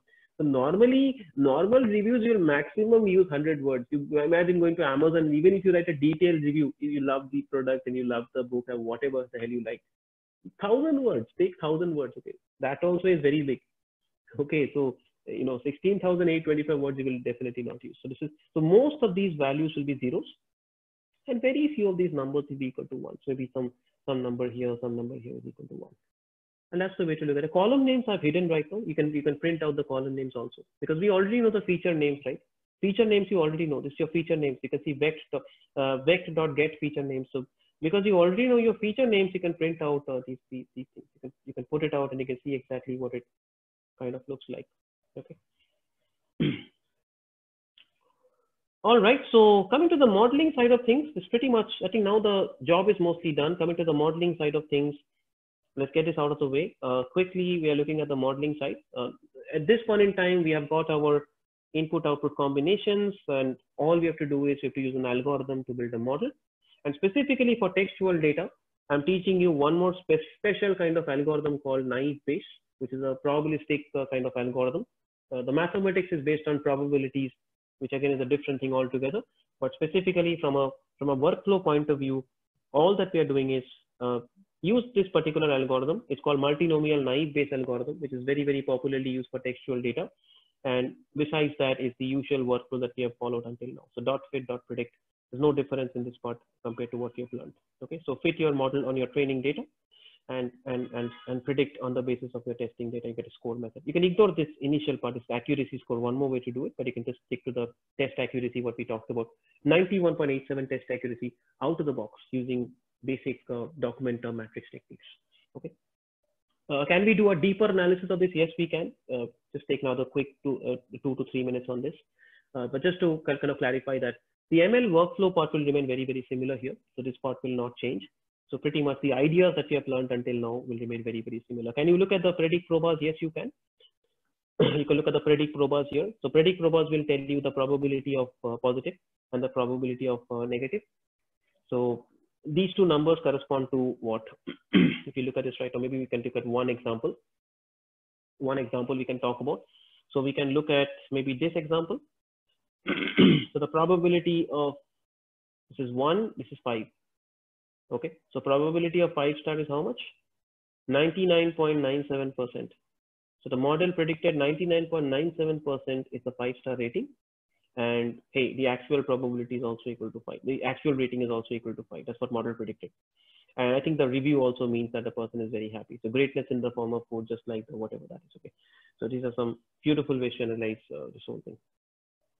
And you can also look at the probably the you know probably the second last review where the person is kind of very unhappy. So obviously you know typically this happens no? This is this is human psychology guys. Very interesting. I and if you've seen this kind of data if you work with it you will probably know that. And you start with this kind of pattern, no, firstly, I'm sorry, this review is lengthy. You're, you're using negative words right up front, no, you're sorry and your review is lengthy. I mean, moment the model detects these kind of things, you know, 100% yes, person is about to say something. Okay, so these are some beautiful patterns that you're seeing. We don't need a model. Our model is already trained in our brains, right? but using machine learning also. Uh, the classification model is already trained. and the model says, what is the probability of one star? The probability of one star is almost 100%. What is this E00? E00 means 10 power 0, 100%. And the probability of five star is 10 power minus 19 is almost close to zero, very small. So probability of one star is very high. Model predicted one star and person is also very unhappy, we can say. Okay, so this is the way to look at it. But one of the things that you cannot do here is, uh, as I said, like there can be some very, very close calls, but that will not come here. so because we remember we have removed the two star, three star, and four star kind of uh, reviews. So, so we'll get a pretty robust and pretty uh, awesome classification model from this. Okay. Now, my question to you guys will be on the confusion matrix. I know we spent some time on this yesterday. So quick two minutes with all of you on this one. So this is one star, this is five star, this is one star, this is five star. So please tell me your findings and your thoughts on what you're seeing on the screen right now.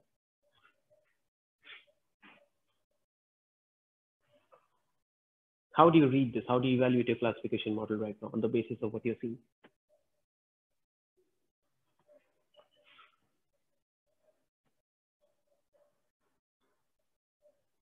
Anybody?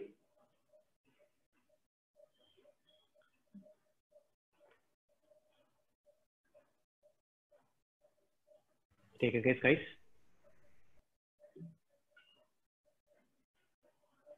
not the obvious thing. That we all understand what is precision. We all understand what is recall. I'm not asking for what is the confusion matrix. We all know that. We have all studied that. I'm asking for what is interesting that you're observing right now. Anything that is interesting.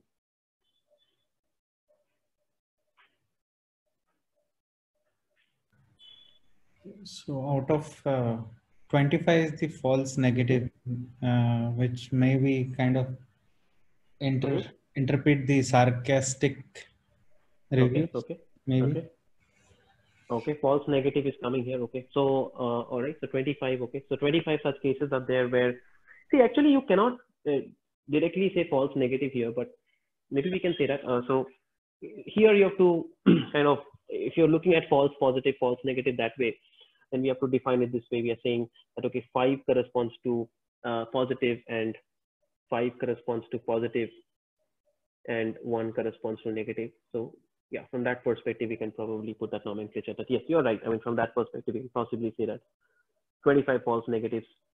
That model predicted, model predicted negative, but in reality, uh, you know, the prediction is false. Now, think about it logically. Now, Praveen, since you mentioned that, like, uh, in this domain, what is more costly for me? Is false negative more costly or is false positive more costly?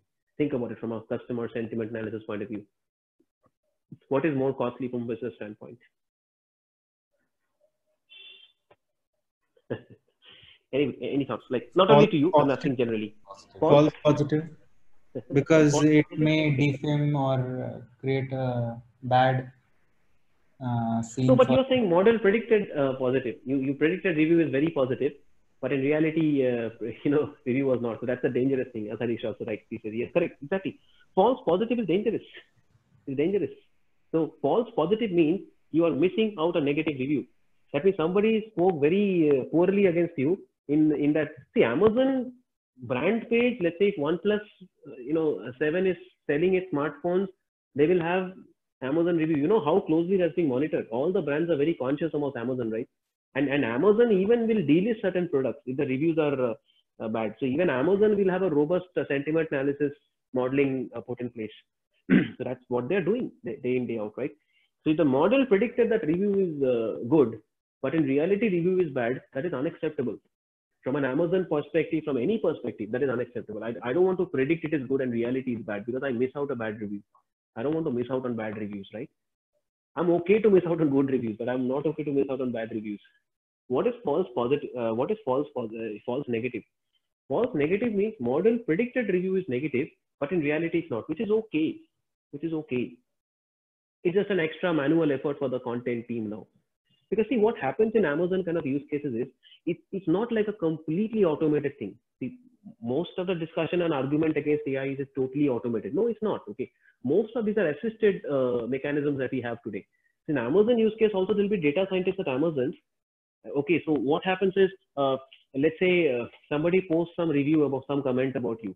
So the model will predict, okay, there is a 70% probability it is negative, negative. and it will flag it for you. And now you review it. You do a manual review now. You're not wasting time on anything. You're just saying, okay, let me focus on what the model thinks is important for me. Now it's a second level check for you. That's it. Okay, that's it. It's an extra effort for you. If it's false negative, that means model predicted negative, but in reality, it's not. It's fine. Could be. I mean, that's okay. I mean, uh, it's an extra effort, but it, it, it's not. It's not as bad as false positive. It's not as bad as false positive, right? So false positive is extremely bad right now in this context. And what you are seeing very interesting, it's on the contrary actually. In this case, false positive is actually higher. So our model, although this is a beautiful way to understand these things, you know, like although the accuracy as a whole is coming out very nice and we are all excited, okay, 90%, you know, wonderful. Okay, like look at the false positives right now. What else? Okay, aside from that part, what else? What else are you seeing? This is very interesting. Some other interesting patterns we are seeing here. Anything else that you're seeing right now? all of you are able to get it. Yes or no, guys? Are you all following? Yes. You've been very silent, everybody. I've only been hearing from Praveen and Harish. And what about the rest of you? Are you all following? Yes, yes or no? This is clear, everybody? Uh, is it? Any doubts? Yes or no? okay. How about the rest of you? Any doubts? Anybody up to this point?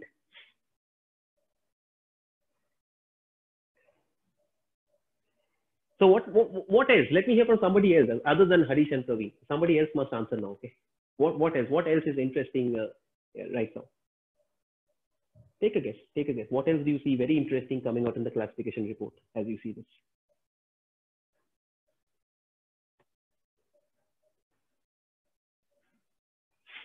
Take a guess. Take a guess, guys. Look at the classification report. See what else is striking out right now.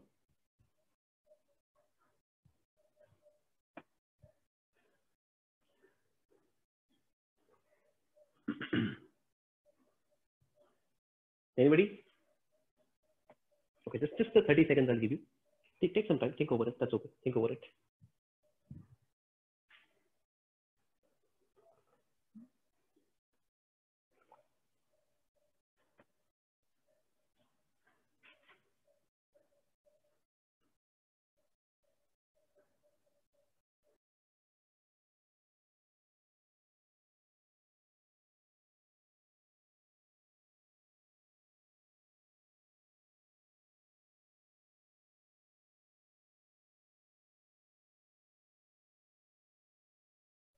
Okay, anybody? Floor is open. Anybody wants to uh, go in? Anybody? So the actuals in Yes. case of uh, one is Yeah. uh, low. The recall is 0.68. Okay. Okay, very interesting. So what is it? Why do you think the recall is low for one? Any thoughts about that? Why is the recall low for one class? that means that means it's a very good point. You're actually in the right track. I was I was my my my my answer, my expected answer was on those lines as well. Uh, but somebody has to complete that. So out of 100 negative reviews, the model detects only 68 of them. What's the reason? Why What's the reason that for one class, the recalls and even precisions are also pretty poor? That, that's generally what is happening here. Uh, five star is, is doing very well. You can see the five class classification is happening pretty well. And this is the benefit of looking at class level accuracy. Accuracy by itself is a pretty useless metric. Now you're able to look at class level accuracy. You know what is the precision and recall of the individual classes. Now you know exactly what's going on behind the scenes. So what's the reason why the recall for the one class is uh, low? Any thoughts, anybody? The answer is hidden here itself. no calculation required. The answer is present in front of you. So go back to the machine learning uh, process. Like what is machine learning? How do machines learn? Machines learn from data, right? Isn't it? So if the model is not doing well, most likely there's not enough data available. And if you look at one class, only less amount of data is there. There's only a one is to eight ratio. the ratio that you're seeing right now, there's a one is to eight ratio that you're seeing between the, you know, the uh, the one class and the five class. Make sense?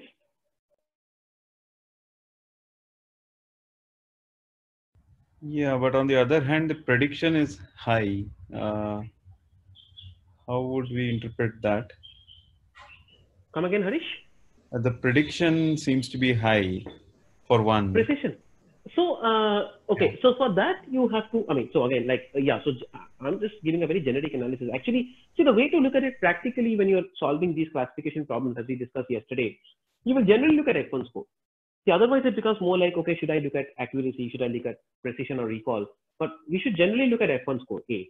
And B, right now, what is, you know, so yes, so if you're asking me, precision is high. Precision high basically is one of the reasons is because, again, there's a mismatch happening, right? There's a mismatch happening in how many predictions it's doing in the first place. If you look at the one class, if you look at the one class, anyways, it is doing this many predictions. Number of predictions also is doing less, no? So, so the, the, the, the way to intuitively understand this thing is, if you have less examples to learn from, let me give an example to you. I think, let's say you have a, there's a small kid and you're teaching the kid examples of apples and bananas. You've taught the kid 10 examples of apples and only one example of banana. The, apple, the, the kid has seen lots of apples, but only one banana. Next time the kid sees anything, it will be more likely to predict apples. Make sense? So here also, you're more likely to predict that class. You're more likely to predict that class which you have seen more often. That's what you're seeing here as predict. So, so if you have seen five class more often, naturally the number of predictions for five will also be better, more. Which is why if the denominator is more, here the denominator is less, the precision is increasing in a way. That's the that's the intuitive way to look at it. And, and, and this is what we refer to as imbalance class problem. You will find it everywhere in classification. Take, talk about any business context, you will almost always find this imbalance uh, uh, class issue. what is imbalance class uh, issue? Imbalance class basically means, you know, like in a way, it kind of means that there are a lot of examples for one class, but there are very few examples for the other class. You talk about equipment failure, a server failure. There are very few instances servers would have failed, but there are a lot of instances servers would not have failed. And now we're talking about balancing the data. So how do you handle these kind of imbalanced classes in real life scenarios? So should you use data as it is like this? So A, you should try to balance it out, try to collect more data for positive and negative reviews, try to equalize and you know try to have equal amount of number of data so that the model learns in an equal way. The model learns in a symmetrical way. Otherwise, it will be like, you know, you have a small kid at home, you're teaching the kid only apples, but no mangoes. Next time you show a fruit teacher is, uh, kid is like, okay, what is a mango? You have not even taught me. I don't even know what a mango looks like. Here also the same thing. You've taught the kid lots of examples of five stars, very few examples of one stars. I don't even know what a one star looks like. How can I even predict a one star? That's the way to look at it. and, and, how do you practically handle these things? We use something called SMOTE. SMOTE is a technique that we can use to handle uh, imbalanced uh, classification. so very interesting idea. So what SMOTE tells you is, uh, given you have data like this, given you have data like this, let's say your distribution uh, initially is like this. And by the way, what I've opened up right now is a very interesting blog, very good blog. Uh, so I think I've talked about towards data science with all of you. I've talked about uh, uh, a few blogs. So this is another very good blog, Machine Learning Mastery. It talks about a lot of awesome concepts and stuff. Okay? So please do refer to it. Yeah. So you can see uh, this is my distribution of data right now. Lots of uh, blue classes, very few orange classes. If you try to build a classification model, the model give, will give very poor F1 scores. F1 scores will be less. That means low, low precision, low recall. F1 scores will be less. And now what you try to do is you try to synthetically increase your uh, orange. How do you synthetically increase your orange part? The way to do that is you go back and do it like this. This is the way to synthetically increase your orange part. SMOTE. You're trying to synthetically increase or synthetically oversample the minority component. That means you're artificially creating more orange points around that orange artificially creating data. Okay. And uh, very interesting, you can see right now, after doing that, your performance will be much, much better. Your overall model performance will actually improve. And this is what kind of strategy is this called? It's called an oversampling technique. It's called oversampling. So we also have something called undersampling. Although undersampling we don't practically do a lot.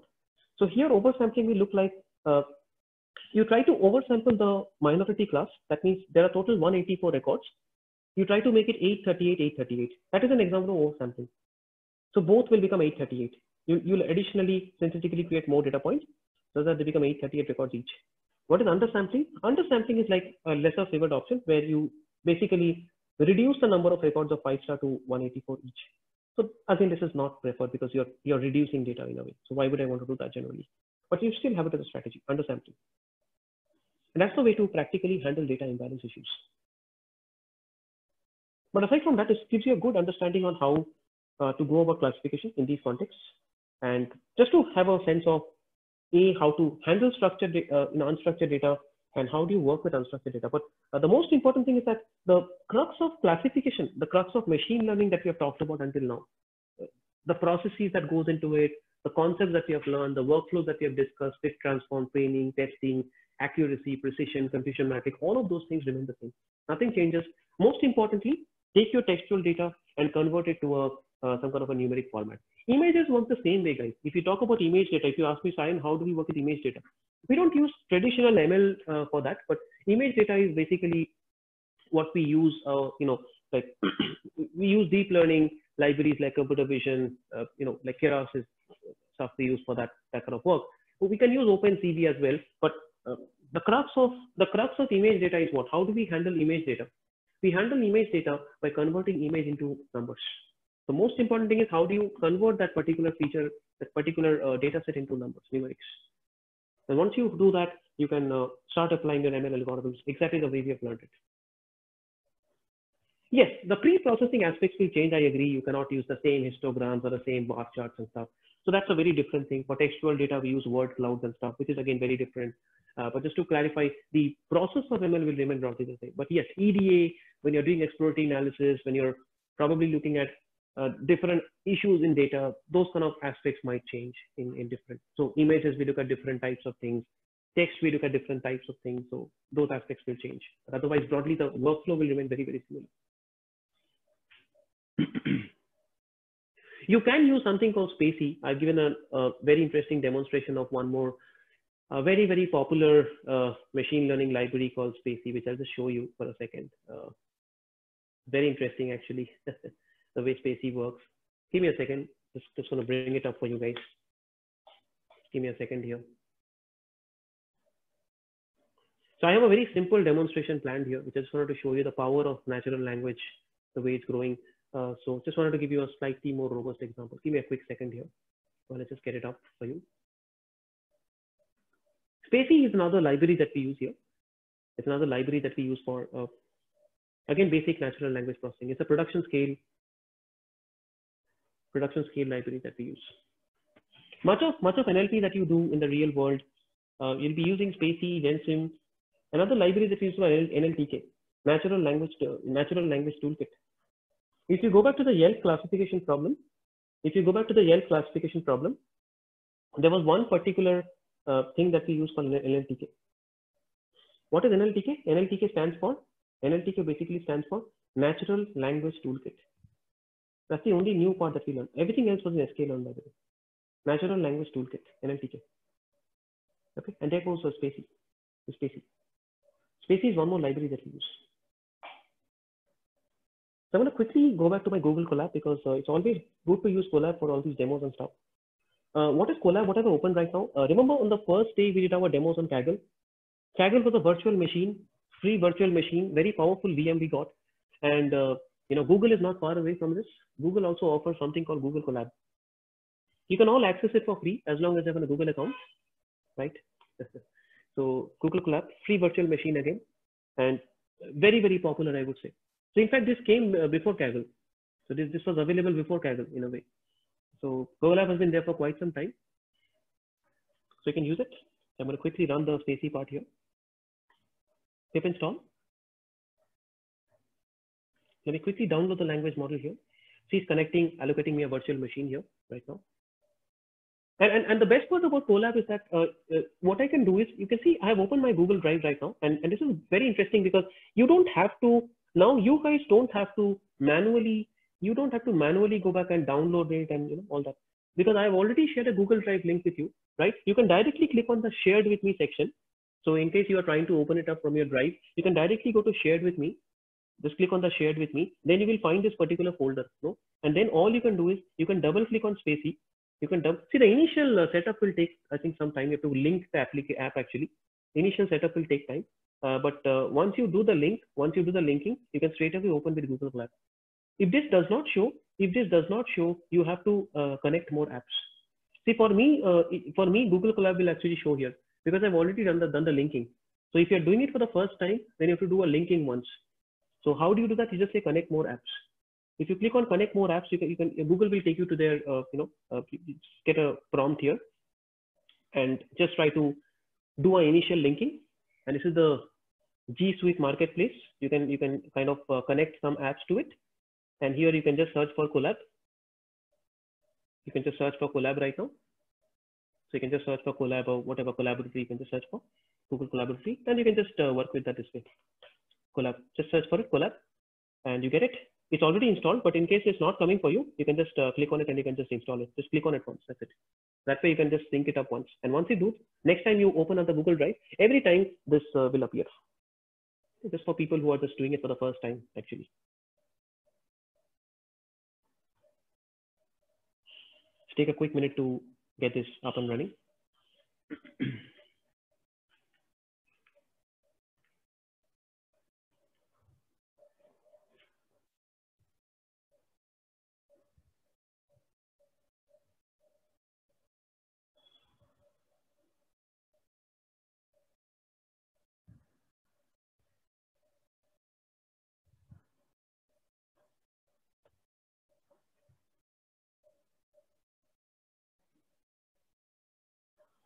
And what I wanted to show you, I think it's going to take a minute to run. Still trying to load the language model. Actually, it's a very, very big language model, 827 MB, which is trying to download from the, uh, in, so it's, it's taking some time. I think I'll just wait for it to complete. In the meantime, uh, what I wanted to convey, I'll keep this running. Maybe uh, we'll, we'll just circle back in five minutes and just discuss it again. It's still running, as you can see. Uh, okay, so let me just execute this thing. And what I wanted to show you were two specific aspects of this. One was the concept of part of speech tagging. What is part of speech tagging? POS tagging. Part of speech tagging basically means that you can give any text as input and the model will basically classify uh, what, what, what parts of speech it belongs to. So normally when we talk about classification, we generally talk about, you know, uh, we talk about predicting sentiment, detecting whether the review is a fake or not, things like that, right? But this is another kind of classification we're trying to do in a way. So I, I, just give any sentence and, and I think once this loads, I can show you some, okay, installing because it's installing now, just take another minute for it to complete. So once it does that, uh, maybe I can just keep this part running till here. It's almost done. You can now load the language model. I think it just complete in a minute. Okay. Yeah, perfect. It's done. Okay. Let me just show you. I'm just loading the language model now. Uh, load spaCy. There it goes.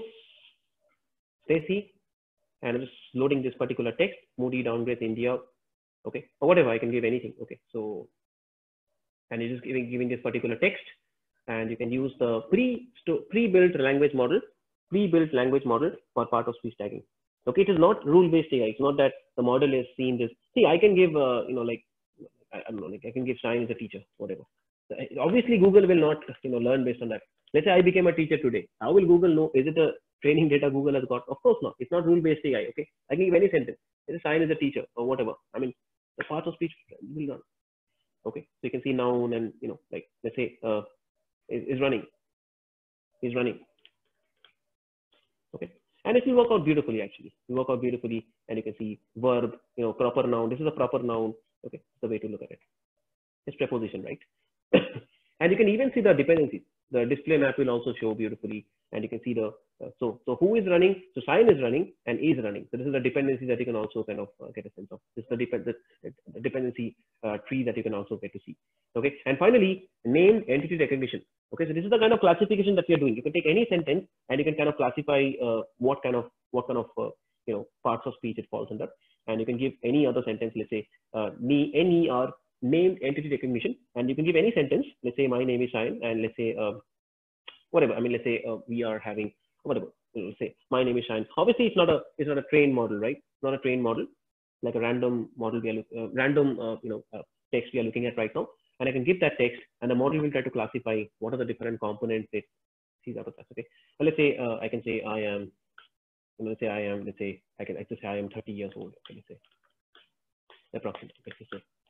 So now it will also say, it will probably also go back and say that, hey, like 30 years old is the date. It's not perfect. You can see it's not perfect. Uh, this is not exactly what I was expecting. Uh, but it's doing something, right? it's doing something. Okay, maybe to say I am visiting, I will visit Singapore. Let's say, I don't know, let's see.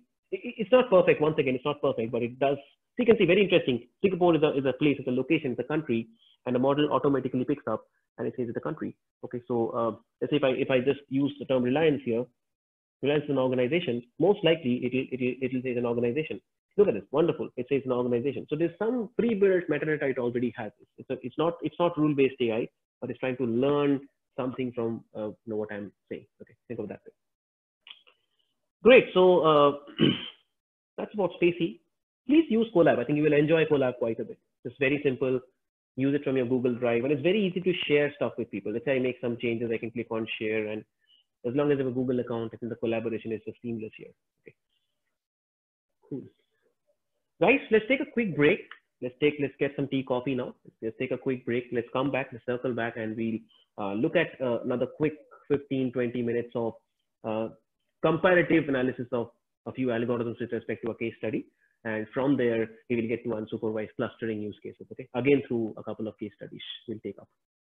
Okay, so we can take a break. We can uh, circle back by uh, 4:55. Okay, I'll see you back at 4:55. I'll see you.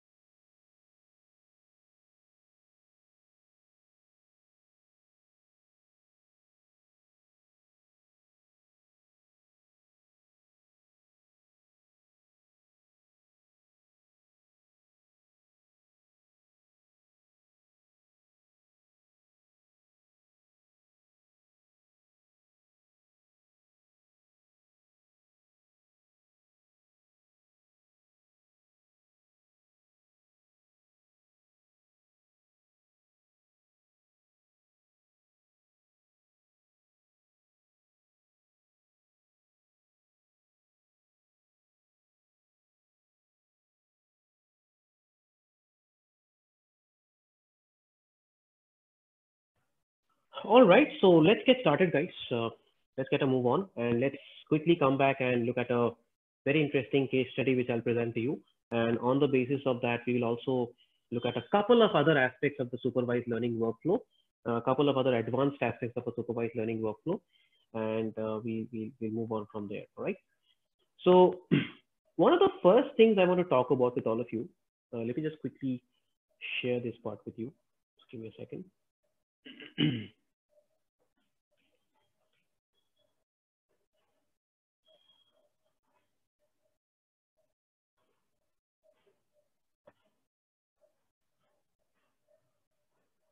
So what I'm getting into right now is this concept called cross-validation. You would have heard me mention this couple of times before as well. Uh, you, you might have heard of this thing called cross-validation, cross-validation, cross-validation. And now we'll talk about what is this thing called cross-validation. Okay, so let's, let's try to understand what this cross-validation actually means. Okay.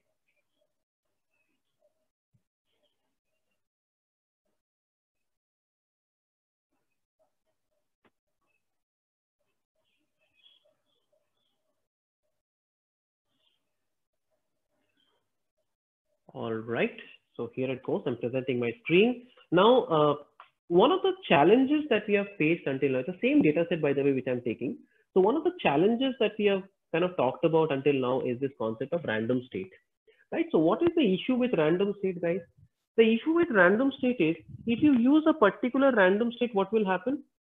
Like you might get a good performance or you might not, like it depends, right? If, I mean, it really depends on your uh, you know the use case. So so random state by itself the problem is if your testing data is good if your testing data is good you might get a good accuracy. If your testing data is not good you may not get a good accuracy. That's the problem with random state. So random state is a very random splitting that you're doing of your training and testing data. And the whole idea is on your training data, you're building a model and on your testing data, you're evaluating your model. So it does not really give a true picture of how good your model actually is, right? So I'll give a simple analogy to help you understand this concept. Let's say you, you, you prepared some topics from your textbook and then you're uh, solving a question paper. And I ask you, how much marks have you got? So just on the basis of marks that you received on one question paper, I'm trying to make an opinion about you. That is incorrect. So just on the basis of one test data set, I'm trying to say how good you are. That's the problem with using a plain vanilla random state in machine learning. So this is where we are saying that, hey, instead of judging a person based on one test accuracy, why not we why not we have many, many, many different test sets? In fact, why not we simulate 10 different test sets why not we simulate 10 different accuracies and let me calculate the average out of these 10 different accuracies. Will that not be a better estimate? Yes, isn't it? So it's like saying that, hey, let me have you solve five or 10 different question papers. And out of all those 10 different question papers, I want to evaluate how well you do on an average across the 10 different question papers. I don't care about your performance on one paper or the second paper or the third paper, but I want to see on an average how you perform across all 10 different question papers. And that idea is basically what we call cross-validation. The technicalities aside, it was the broad idea I wanted to enforce why it is important and how it's important. And this is the way you actually do it. If you only look at random state, random state will give you 72% test accuracy, as you can see. Just a single test accuracy you're getting. But does this really reflect how this model is performing? Not necessarily. If I if I use a different test set, I might get different answer.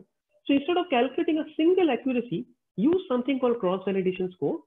Code is one line, and now what you end up getting is you basically get 10 different accuracies now. X comma Y, CV equal to 10, scoring equal to accuracy. You can use recall precision also, by the way. We talked about these metrics. You can evaluate based on recall as well, by the way. So now you get average recalls. Now you get uh, 10 different precisions, and you can also get 10 different F1 scores. I'm just using accuracy as an example right now. This is a far more robust way of building models. And what is the benefit of doing this?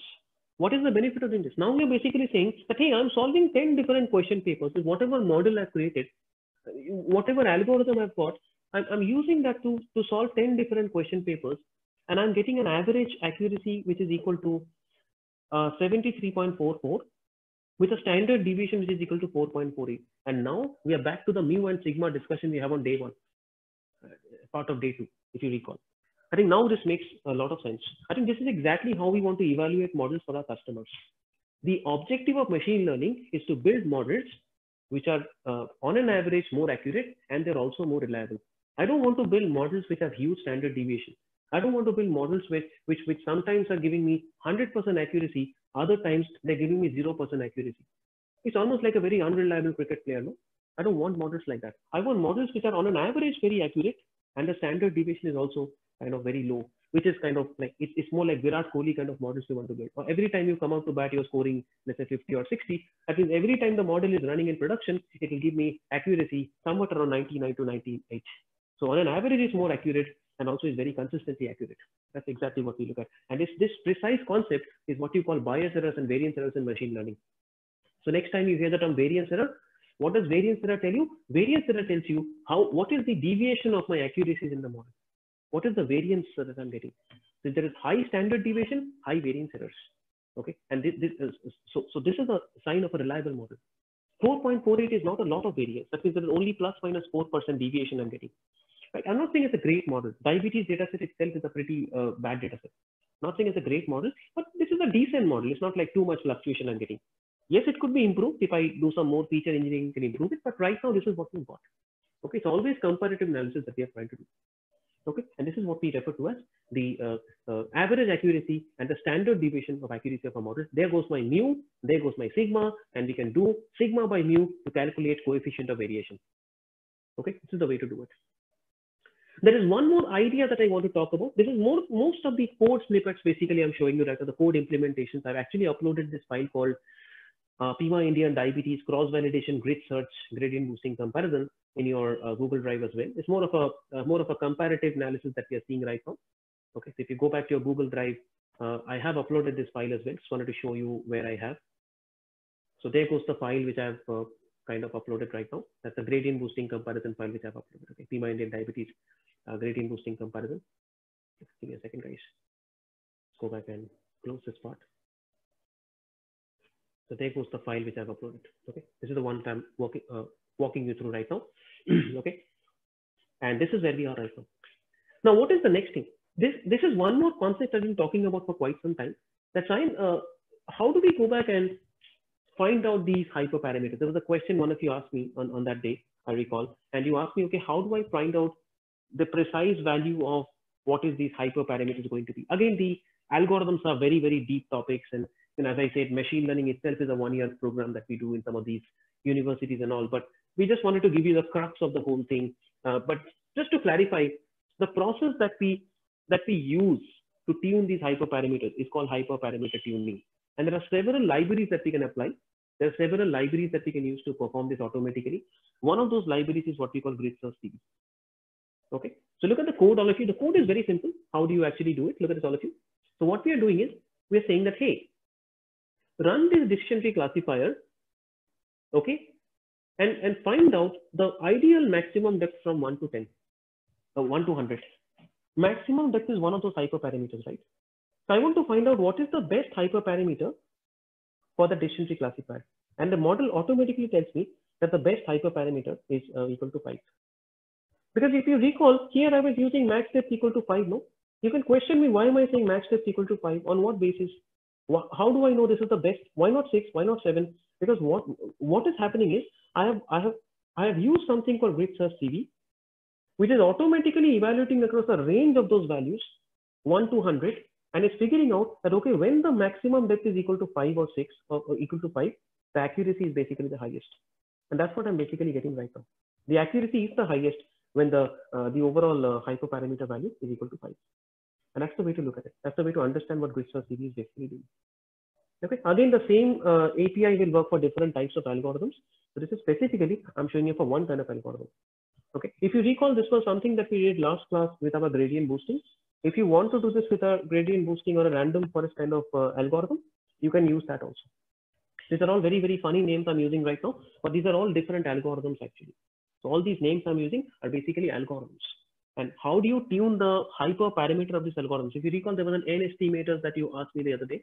Okay, n estimators is a hyperparameter, right? How do you find out the ideal value of n estimators? You will use the tuning process for that. You say, okay, uh, uh, between 1 to 40, please tell me what is the best value of n estimator. So when the value of n estimator is 37, the learning is the best. 64 accuracy I'm basically getting. That's the way to understand the meaning of, uh, you know, uh, 64 recall I'm actually getting, sorry. This is the way to understand the meaning of what these hyperparameters actually are. And, and you might question me, Sayan, why are you uh, maximizing recall? Because remember, this is a diabetes use case. So diabetes use case, whatever classification models you're building, you want to build your classification models in such a way that your uh, average uh, recall is actually maximized. You want to maximize your overall average recall. And that's the way to understand the gist of how you do these two things. The two, two, two key concepts we have seen right now. One is called cross-validation. One is called grid search. These are all add-ons to all the other things we have discussed. And remember, these are these are these are similar things across classification and regression. So whether you do classification, whether you do regression, this idea does not change. So it's, it's almost like saying you take the same code, copy paste it, put it in your uh, regression workflow, the concrete, the California we were doing, and instead of classifier, use regressor. The same thing, Dito will work the same. There's no changes required. Okay, and instead of accurate scoring, you give RMSE here, R squared actually. Otherwise, it works the same way in a way. Okay, so this is pretty much an idea that I wanted to give you on what is cross validation, the concept of cross validation, and the concept of grid search CV. To extend on top of that, to extend on top of that, this is the final algorithm comparison that you basically have. Beautiful way to uh, compare different types of models and which model is good, which model is not good. I think you can relate to this very well right now. There are several of these machine learning algorithms that we'll be using. And now we can actually do a comparative analysis of which model is good and which model is uh, working out best. So let me just quickly do a warnings, import warnings right now. And this, these, these are standard templates all of you can start using for your business problems now. You can use these standard templates and given you have a quick POC that you want to work on, you're free to use some of these templates now. You can just plug in your data set and you can, now you can try out the algorithms. You don't have to know the algorithms. To know the algorithms, you can go, the resources I've shared with you. Please read from it. You must know it. You must understand the in-depth of it. But as I said, a top-down idea of machine learning is very important. I've seen too many people who keep studying the algorithm only for the last for the next one year, and they end up ending nowhere. Okay, you, you will not start anywhere if you if you don't start. You have to start somewhere. To start somewhere, it's, it's important to feel inspired about the whole thing. You cannot just uh, keep thinking it's all math and it's all dangerous stuff and also you got to start somewhere. Okay, and I see too many people being fearful of ML because it, it, it, it involves math. So math is not some rocket science. Math is doable. Math is understandable. But there's a there's a you know there's a roadmap for doing that. It's not just that you directly start with the math. So the way you start is the way I'm teaching you. So you, you, you do the basic stuff, you, you do A, B, C, D, E, and then you go to the math part after this. So now you're in a position, I'm confident you can take a data set and you can start working on POCs. You've got all the concepts built in. Okay, you know, this is my feature, this is my output. You can at least start building basic models. You've learned all the components. You know how to do train test split, you know, cross validation, you know how to tune an algorithm. I don't care about the algorithm itself. I don't care. I don't, I don't want to know the maths. But I can build a POC for you. I can interpret the confusion matrix for you. If it's a regression problem, I can interpret the R square RMSE for you. And it's that's it. I can do the model for you. And if you're a good uh, uh, techie, if you're if you're in if you're in application development and web development stuff, if you know take, uh, frameworks like Flask and Django, you might as well get an application out of it. The deployment part also you're aware of. So those are things that you uh, are already know. okay. So let me quickly uh, open up this file once again, guys. And just a quick two minutes on this, then I'll show you a very interesting case study. And from there, a clustering case study will come to. Okay. Okay, so uh, let me run this. Same Pima diabetes dataset. And what I wanted to show you here, takes a minute to run actually. This file, uh, what I wanted to specifically show you here is the model comparison. Let's call it supervised learning model comparison file so that you can locate it better as you see the demonstrations later on. Take some time to evaluate as you can see. It's a model comparison file. And we, we, we can actually get a sense of how the different algorithms are basically doing here. And we can list out all the uh, supervised learning algorithms here one by one. Again, remember we are following a pretty black box approach here. We don't care too much about the specifics about the algorithms, but we are trying to uh, build the models and we're trying to understand how good the algorithms actually are. Uh, I have tried four different algorithms right now. If you want to add on to it, you can. So probably we can add on uh, a logistic regression model, an LR model to it. These are the components that are not done yet. So logistic regression, I can just import that thing here. It's not done yet from sklearn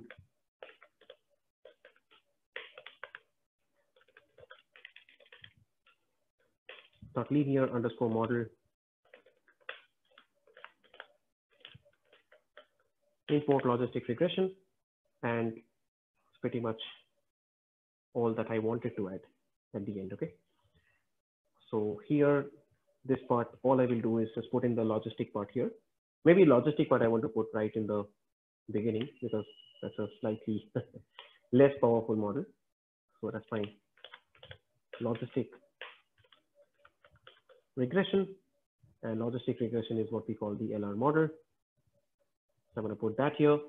and there it goes. So I want to create something like this. Let's see if I've covered everything. I've got decision trees covered. Uh, decision tree is the classification algorithm. And random forest and gradient boosting are ensembles of addition. These are ensemble models. We talked about ensembles briefly. What are ensembles? Ensembles are collection of individual models. So you combine many, many, many models to build an ensemble. Support vector machine is a very powerful algorithm. That's another kind of algorithm that you have. And here I've added something called logistic regression algorithm. Okay, and we have something else called KNN. KNN. So KNN is also a very basic algorithm that we have. Uh, it's not something that you uh, that we use a lot. Just going to still show you the comparative uh, advantages and disadvantages of the algorithms. sklearn n neighbors, sklearn dot n sklearn dot neighbors import k neighbors classifier it's a classifier. See, all these have regression equivalents also, by the way. So here I'm importing the classifier version of it. And uh, everything is fine. I just need to put that in. And n neighbors is equal to, uh, just put a random number of equal to 5. Uh, is it good? Is it not good? I don't know. We need to see. Okay, we need to evaluate the cross-validation results of it. We'll see. We'll wait and watch how it works out. Uh, so the last model I want to add is the KNN pretty much put all the major classification algorithms here. So there goes my KNN model.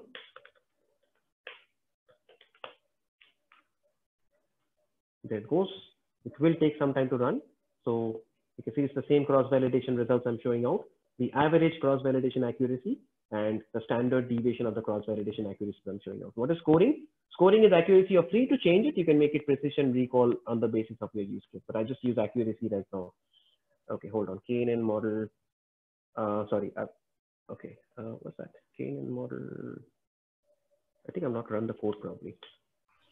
K is capital. K is capital, is it? Oh, okay. Huh. All right. Yes. K is capital. Yes. Perfect. Yes. Let me run the code now. Yeah. Okay. So these are going to take uh, run pretty fast. SVM takes a lot of time to run. Support vector machines are one of the most uh, powerful algorithms out there. Very, very powerful. And again, there's a lot of beautiful history around SVMs, and I will highly encourage the Udacity course to you, the machine learning course I picked on the first day. Uh, so Sebastian walks you through the SVM beautifully. He talks about margins and he talks about the math. He doesn't explain any of this stuff, what you're seeing right now, but the math is beautifully explained in SVM. So please do watch it. Please do watch that uh, course and you know, you, you, you learn the math of SVM very nicely there. Okay. Math of SVM is very, very dangerous, but it's very intuitively explained in the course there. So you can, you can see SVM is taking a lot of time to uh, evaluate. I'll just wait for a minute.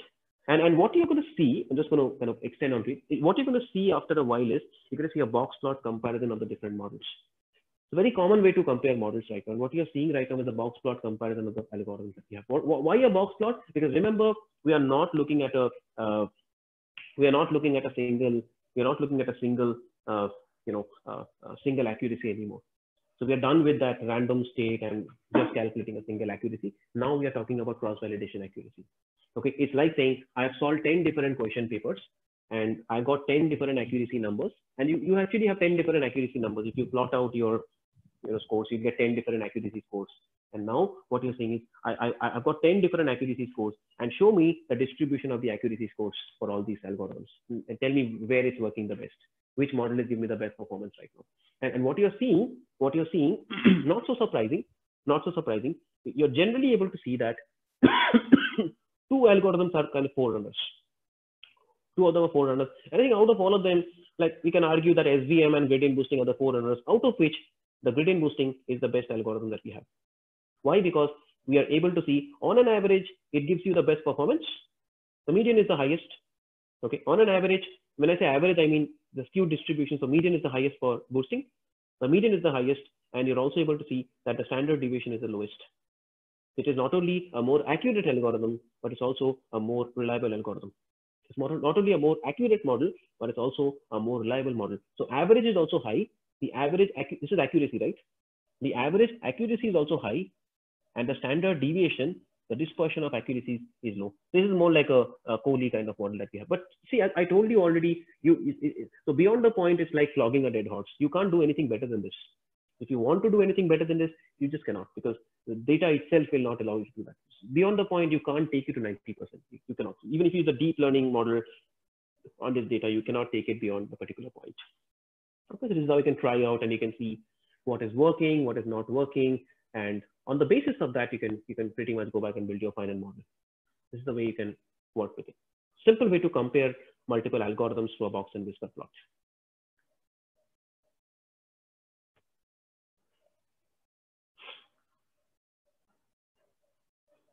All right. So one other uh, example I wanted to show you quickly, very interesting actually. I want to quickly walk you through that uh, piece once. This is one more notebook I'll be sharing. It's more of a more of a case study actually, and it's a case study which is based on a very interesting Kaggle competition.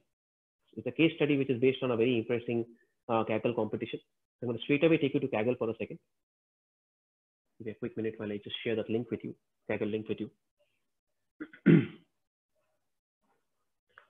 This competition happened in Kaggle, uh, I would say two years back. It was a pretty po popular competition back that time. And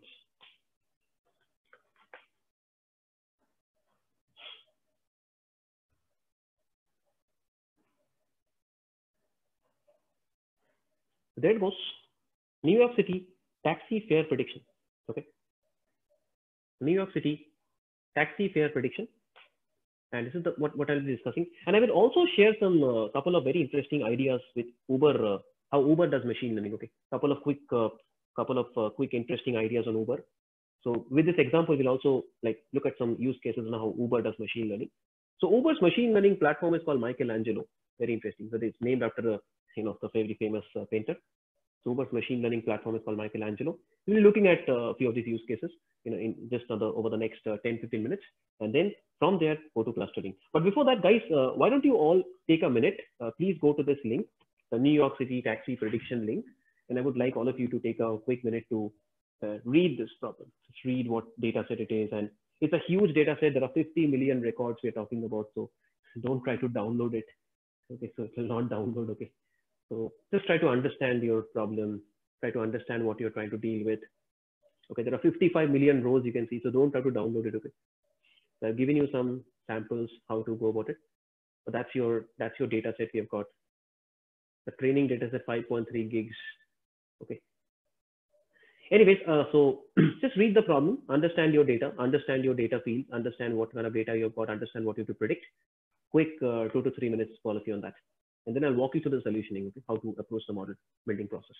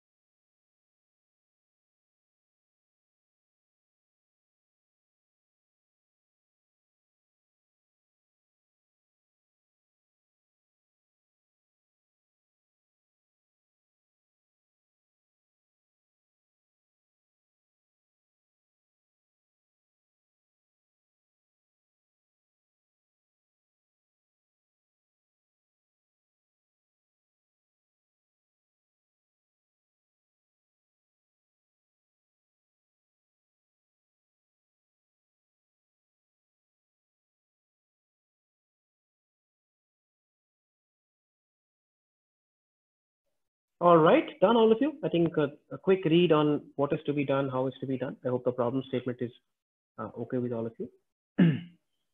Everybody has given it an initial read. Uh, quick check with all of you.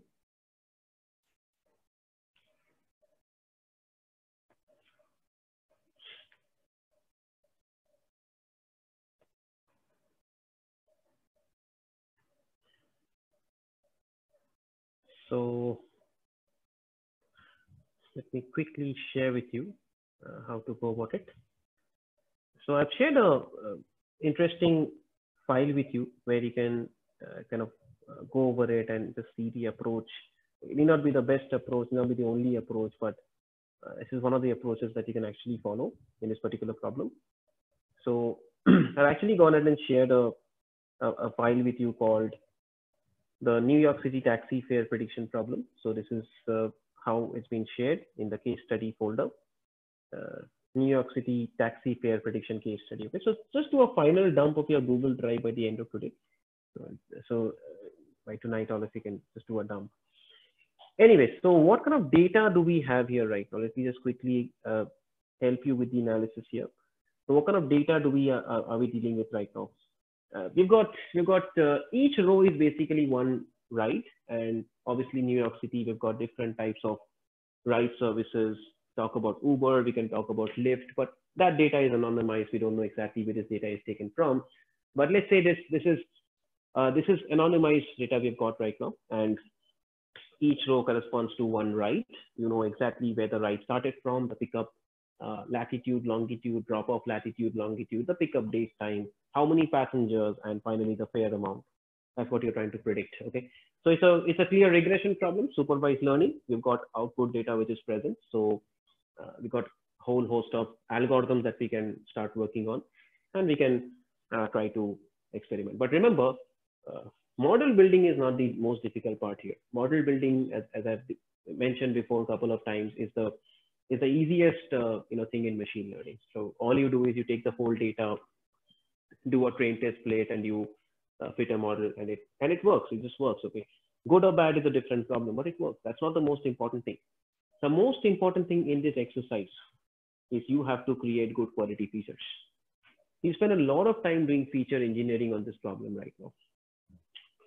The original features as it is, for example, latitude, longitude feature, and you know you've got a feature called pickup date time these features as it is are not useful latitude longitude the number as such does not tell you much right we've talked about regression all of you isn't it we talked about regression if you recall in the california housing data set which we are discussing on day one i clearly told you that time that latitude as a number itself does not mean a lot otherwise the, the, the conversation goes somewhat like one unit increase in latitude leads to uh, five units increase in housing value. Is it correct? Is it just because my latitude is going up, the housing value will go up?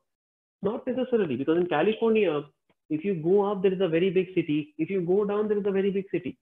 So both the clusters, you know, in a way, uh, the pricing was kind of uh, changing, right? So Los Angeles and San Francisco are present in two different, uh, you know, two different levels in a way. Even longitude you cannot say just because my longitude increased for one unit, my housing value went up this much. So logically, that does not make a lot of sense. So latitude, longitude, similarly here also, we cannot just say that because the latitude is one unit more, your prices are, your fare is going to be more. No. So what we have to do here is you have to create good quality features. So you have to tell me what kind of features you can create in this problem. Just to clarify, iteration one, iteration one, you please ignore everything. Please ignore everything and we can start with a baseline model okay so what is this this is what we call an experiment one we are doing a baseline model no feature engineering just basic null removal for data wrangling we have done just basic uh, iteration one we have built. And that's our baseline model right now with raw features. And what kind of a performance are we getting? R squared of 0.73 rmse of 5.095 baseline model. Can we do better than this? Of course yes. That's why we are we are, we are doing this right? So just with a baseline model, take the features as it is. You know, you've got worthless features, by the way, timestamp feature, you know, date timestamp, you'll never use as a feature in machine learning. But with that, we're getting, you know, 7.73. So something to be, you know, something to feel good about. Okay. what else can we do? What is experiment number two going to look like? Please tell me, what kind of features do you create in this data set? What do you think? What kind of features should you create here right now? Distance based on the latitude, longitude of pickup and uh, drop off. Very good. Distance is an excellent metric, correct. In fact, uh, many types of distance metrics could be used. The way companies like Uber, companies like Ola, the way they will do it is they will they will uh, pay Google. They will use Google services, Google API to you know uh, for, these kind of competitions, right? So if you want to travel from A to B, so you, you'll be using Google APIs to uh, you know evaluate how much distance you're traveling from A to B. So very good. Distance will be an excellent metric. Uh, if you so Google will charge a lot of money, obviously, but if you want to use a slightly different way of doing this, if you want to do a slightly different way of doing this, there is something called open source routing machine. It's an open source project. It's called Project OSRM, open source routing machine. And this, this actually helps you calculate the shortest path between two road networks, road networks. And this is a free open source uh, project. And this will give you very similar kind of performance, not like uh, something very bad, but obviously Google is Google. So they've got more real-time data and they've got more money, obviously, to spend. So it's obviously very different there, but you can see a small demo and you can see, you can try it out. There's a GitHub, GitHub account is also there. They, they share the code with them, how, to, how you can use it. Okay. Uh, so you can try it out. Maybe, you know, we care about India. Let me just go to India right now. Try it out. Very interesting. it gives you the distances and all that, right? And, and the best part is open source, right? So Bangalore, let's say Bangalore, because most of are in Bangalore, right? So let's take Bangalore right now. And there goes Devanahalli, the airport in Bangalore, right? So we'll take this. So this is where I put one of my markers. There it goes. So, okay, so this is where I start from. And the drop is going to be, let's say HAL. This is what is, what is now, now is uh, uh, 3rd September, Thursday, 5.30. Peak hours, right? peak hours, right, guys? I think no longer peak hours nowadays. Nowadays, there's no peak hours. Let's say you want to go all the way down to, uh, you know, uh, South Bangalore and uh, HSR layout. Okay. So where is HSR layout? Uh, okay, this way. It will be little bit this side. I guess here.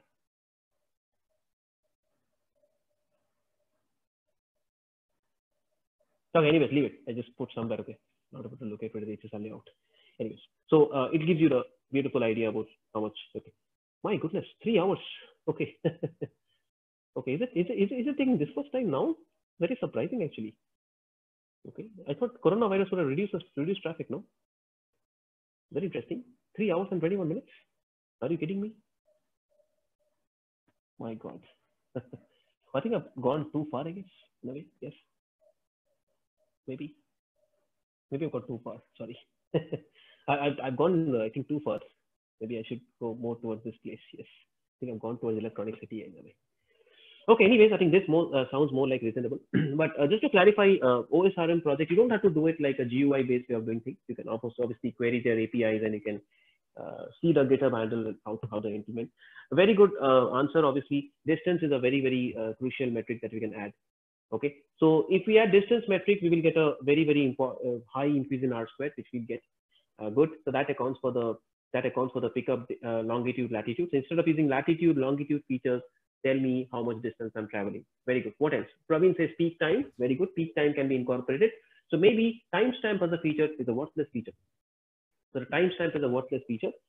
So pickup date time by itself, it adds no value. So uh, from that pickup date time, why, why don't I create features like uh, please tell me, you know, like, please tell me what time of the day was it and maybe what day of the week was it. These could be two very, very important uh, features, right? So two things. So A, what time of the day was it? And B, what day of the week was it? So date timestamp as it is is not important, but I want to know A, what time of the day was it? And B, what day of the week was it? if I know it's a, it's a weekday versus a weekend, I'll have a very, very strong uh, relationship. And if I know it's a I mean, it's like like what we saw right now. It's like a peak hour. It's a peak hour five o'clock versus the like non-peak hour twelve o'clock. It will again be a very very strong relationship you will get with respect to the fare. Okay. Okay, very good, excellent. Let's let's try a couple of iterations right now. So experiment number one, uh, I think I was not not so proud, but let's see. Uh, after adding a couple of temporal features, what we get. So these are what we call temporal features, by the way, guys. Uh, technically, we call it temporal features. Whenever you're presented with any date time columns, uh, anything that corresponds to date time. Whenever you've got any date time columns, you will always uh, convert them to uh, some kind of you know, kind of temporal features like extract the year, the month, the day. Here we are talking about hour of the day and day of the week. So similarly, you will do it in other use cases also. Okay. Temporal features related time. Temporal in English means related to time. And after doing that straight away, we're getting a, uh, you know, 77.5. Look at this, straight away 77.5. We started from 0.73. Now R squared has improved, RMSE has gone down. Okay, iteration two, iteration two, I add distance metric. iteration two, I add distance metric. And by, in, by, by, by using distance metric, iteration two, by adding distance metric, we have got a 5.5% R squared increase. That's a massive improvement straight away up to 83. We started from 73 and just by adding time-based features and distance-based features, we are at 83. Remember, I have not even touched my algorithm. All this while we have discussed about the best data, best algorithm builds the best model. Right now, we are tweaking the data first. This is a very common way that you will, uh, you know, you will approach machine learning projects. So use a baseline algorithm. Right now, we are using something called XGBoost regressor, you can see, which is a kind of a gradient boosting kind of algorithm. So keep the algorithm constant. Try to tweak your data. Try to make your data better, better, better, better. Now, once you have reached that threshold, now once my data is the best kind of data that I can possibly get, once I've got good quality features, now you kind of try to experiment with the algorithm. Now you do that cross-validation thing I showed you, uh, compare the algorithms, find out the best hyperparameters, and train the best possible model. So this is the way you will uh, basically iterate. Okay. Uh, what else I can possibly do here? Well, a lot. There's so much we can do possibly. We can look at uh, New York City has three airports, right? We've got JFK, we've got uh, LaGuardia, and we've got uh, uh, what's the other one? I think there's Newark Airport. The three airports in New York City. So we can possibly you know, add airport trips as a feature. This is a good, uh, good feature to add, right? So you can possibly add airport trips as a feature. So one use case of this could be like, hey, like although you're traveling the same 10 kilometers distance, let me give an example. 10 kilometers from JFK to some place and 10 kilometers from Newark to some place and 10 kilometers from LaGuardia airport to some place, the patterns will be very different because JFK is a more busy airport. Maybe user development fee and maybe the airport charges will be more, the parking charges will be more. So there are a lot of patterns that will be built into that fare. Ultimately, you're trying to predict fare, right? So it is not enough to just calculate how much distance you're traveling, but I also want to know which airport and where you're traveling. That is also very important for me when the modeling side of things. So the, the, because distance will tell you, yes, distance is proportional to time. The more the, sorry, distance is proportional to fare. The more the distance, the more the fare, no doubt. But the same 10 meters, JFK, and the same 10 meters, LaGuardia, very different models. Because, hey, like the fares are different. JFK, naturally, you're paying higher fares. So I want a separate, uh, you know, feature for that also. Like which airport am I picking you up from? Which airport? And and hey, who knows? Like uh, different airports might have different uh, types of, you know, charges. Right? So you might have a toll somewhere and other airports may not have a toll. And this is a generic model we're building across uh, across use cases, not only specific to New York City, but maybe this kind of a thing you might find more relevant for other countries. Okay, and this is one of the features we can add. So, and what other feature can we add? Okay, it's a small improvement just to clarify. Uh, you know, it's not some not some major improvement we're getting. A small improvement of 0.1 percent, but at that level, at that level, it's like the Olympics now. 83% to 83.1% is still an improvement. We're not going to discount that. We're going to still say hey, it's still better, still marginally better than what I had before. Okay, still better. I'm not going to discount it. Still good what we're getting right now. okay. And finally, we can also uh, add borough-based features. New York City as a place has you know five different boroughs. It's almost like different locations in Bangalore. You've got HSR layout, Koramangala Electronic City. Okay, the different places in Bangalore we have got. And now we're going to add borough-based features, different district-based features. And obviously the most advanced borough is Manhattan. Right? You can do this right now. We've got Manhattan, we've got uh, Brooklyn, we've got uh, you know Queens, we've got Staten Island, and we've got uh, the Bronx. I think it's, it's, it's, it's obvious, like the same 10 meters, that all this while we were discussing distance and uh, time were the most important features for fare, but now it's not. Now it's a location that also matters. The same 10 meters you travel in Manhattan and the same 10 meters you please drive in Bronx Will you get the same fare? Of course not, because the demand is different, the people are different, the, the market is different, the economics are different. Definitely, it will not work out, right? Because they're, they're very so there are like extreme uh, like there's also poverty in New York City. Okay, New York City is not some very rich place. There are a lot of rich people, and there are equally a lot of very poor people also. A lot of gap is there, and obviously depends on where that ride is taken. Uh, you know, the economics of that will actually come into account. Okay. so finally, uh, after doing all these iterations, finally, after all these iterations, we are down to the best possible set of features. I think uh, we were able to, I would say we were able to, in a way, uh, you know, get an improvement up to 83.2. We started from 0.73 with absolutely worthless features. And now after doing several layers of feature engineering, we are down to 83.2. And now I can confidently say that here, here was the best set of features. Here was the best set of features. And on that, I will train a full-fledged XGBoost model. That means I will train a full-fledged model with the best hyperparameters. And that model will give me another marginal improvement. And, and that is what you're able to see. And the marginal improvement is coming out as, let's say, approximately around 86.5 which is a pretty drastic improvement I'm getting here. Here I'm keeping, keeping the data constant, algorithm I'm changing.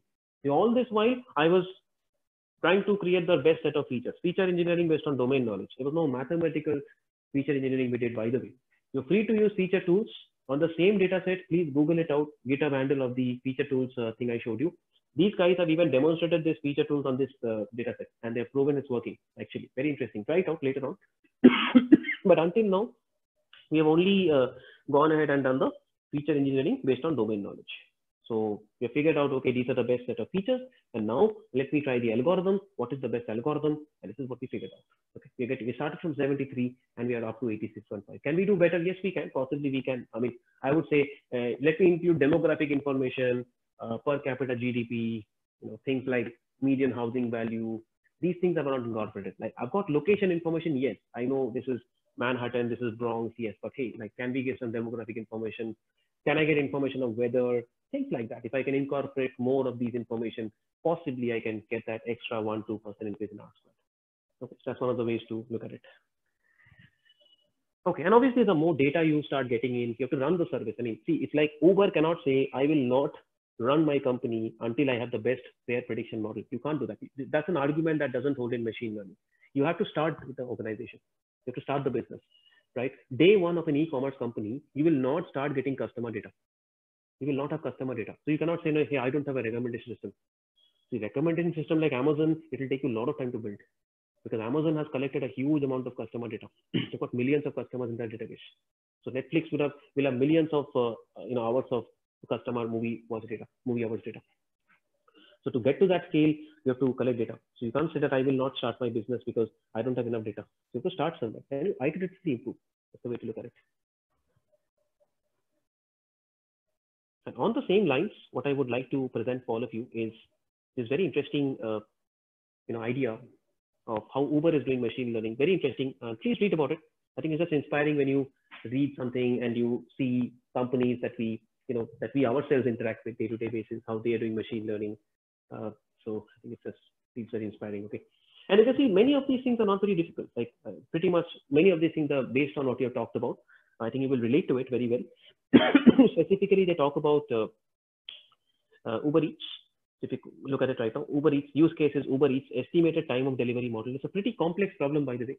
So you order some food item and uh, Uber Eats tries to predict how much time it will take for the food to reach you. It's a pretty complicated problem. So what you're trying to do here is uh, when an Uber customer places an order, it is sent to the restaurant for processing. The restaurant then needs to acknowledge the order and prepare the meal, which will take time depending on the complexity of the order and how busy the restaurant is. There's a prediction component involved here. See, this straight away there's a prediction component. When you hit that button that I want to buy, you make the payment. The restaurant has to acknowledge and prepare the meal, which will take time depending on the complexity and how busy the restaurant. So you have to predict how busy the restaurant is. Look at historical data, look at all similar orders customers are placed with that hotel and, and, and try to predict how much time generally it takes. when the meal is close to being ready. So first is the amount of time for the meal to be prepared, just to clarify, meal preparation time. So meal preparation time plus rider uh, time. An Uber delivery partner is dispatched. Then the delivery partner needs to get to the restaurant. How much time he takes, he or she takes. Find the parking, how much time that is taken. See, India, there is no parking. No, I'm just kidding. Just kidding. Okay. But generally, you, you have to do parking, right? You can't just park in the road and get the food and come. You have to park, you have to find proper parking and do that. That takes time.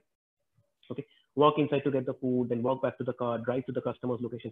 These are all practical problems that Uber is handling. And you can already imagine the complexity that you're dealing with right now. One walk to the customer's door to complete delivery. Even there is a time component involved here also. Because when you reach the customer's location, you know, like when you reach the customer's location, there also you have to find parking. Go to the customer's door. If the customer stays on the stays on the tenth floor,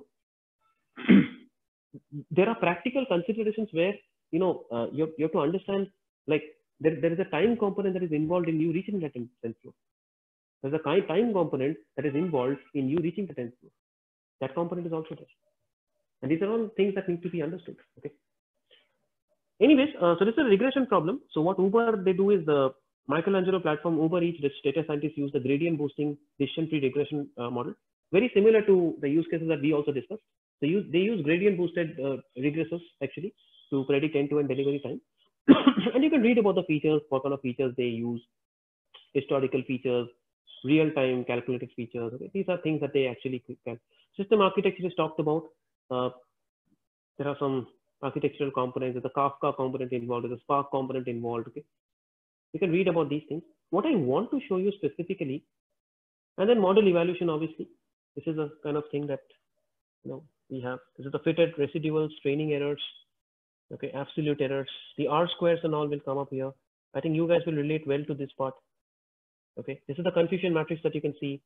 Precision recall matrix will actually come up here. Confusion matrix, true positives, false negatives. Okay, you can see all that. Anyways, uh, and you can see the most important features. Feature importance will actually show up. We talked about feature importance. The feature importance will also show up right now. Very nice. The feature importance will also show up here. and this is your uh, RMSE, by the way. I forgot to mention that. That's your RMSE of the model, how the model is performing on test data. 549.2 and MAE is 407.2. What is MAE, by the way? MAE is very similar to MSE. Have, I know we have been talking about R square, but what is MAE? MAE stands for mean absolute error. MAE stands for mean absolute error, just to clarify. What is MAE? MAE is mean absolute error. The formula is basically this. Actual minus predicted. So first is error. Then you calculate the apps. Sorry, I think the marker is not working. Sorry. So first is error, actual minus predicted. Then you calculate the absolute value of the error and then the mean of the absolute value, i equal to 1 to n divided by n. That is how we define mean absolute error. So error, error, absolute mean. Very similar to uh, MSE, but just that it's, it's, it's, it's, a little bit more robust, it's more interpretable in a way. So you can see MA, MAE also that we're getting back now. So one, one way to interpret MAE will be it, it, it, it tends to equally penalizes uh, both kind of differences. But uh, MSE, RMSE, when you take square, if your error is high, the penalization is much more comparatively. MSE, when you take, because you're squaring the errors, right? If your errors are high, the penalty is actually much more. The, the, the overall penalty kind of expands a bit. So think of it that way. That's the intuition behind MSE versus MAE. Now, what I want to show you, all this is basic stuff, you can read about it. What I wanted to show you very interesting is uh, this part, the kind of uh, the kind of metrics these guys actually use. Very interesting. Look at this. In the case of a regression model, in the case of a regression model, we publish R squared. We talked about R squared. We talked about RMSE. I think one thing that we have not quite talked about, just now we talked about MAE. Uber data scientists also use the same metrics. They use R squared, they use RMSE, and they use MAE. Okay. And we have not talked about one metric, which is RMSLE. Now, what I would like you guys to do is, I would like you guys to maybe think think for a minute. What is the possible use case of RMSLE? Think about it. What is the possible use case of RMSLE? What is RMSLE used for in the Uber data uh, Uber context? Think about it. I think I'll help you out with the formula for RMSLE. so RMSLE is root mean square logarithmic error. And the way to read that would be the way to read that would be, let me just create some space this side. Uh, okay.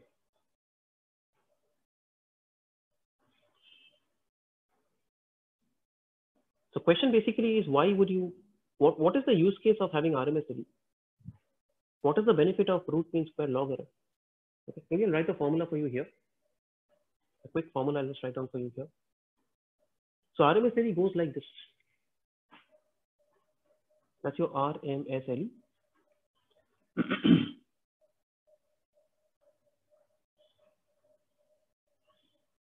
I'm sorry, I think this will not, this will not stay. Uh, give me a second, guys. Uh, I think just wanted to So I don't uh, show that part to you. I think you got you all got this part right. If you all got this part, I can I can come out of here for a second. I think I've already shared the links with you. So let me come out of this for a second. I need a bigger screen to write this part. So root mean square log error. okay. So RMSLE.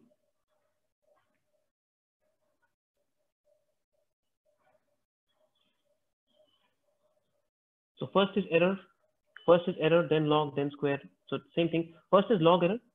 Log, what is log error? Log error is log actual. So log of y actual minus log of y predicted. Straightforward. The formula might, might, might seem like rocket science, but once you break it down, there are no formulas in data science. It's just logic, okay? Basic logic. Actual minus predicted, then square it up, then square it up. Then you take the mean of the squares. i equal to 1, 2, and take the mean of the squares. Then take the root of it. That's RMSLE. What you have to tell me is, what is the context of using this in a Uber problem? Why is this important for Uber than the usual RMSE that we talked about? What is RMSE we talked about? I'm going to write down both the formulas for you. and you have to mathematically, this is a mathematical explanation, okay? Slightly mathematical explanation. Actual minus predicted. So error, square, mean, and root. So how are these two things relevant? Why is RMSE relevant for Uber?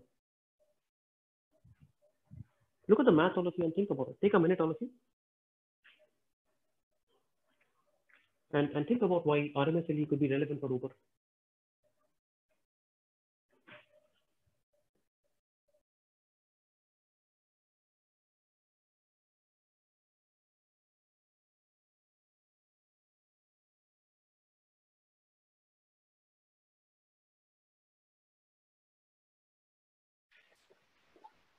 This will remove the outlier.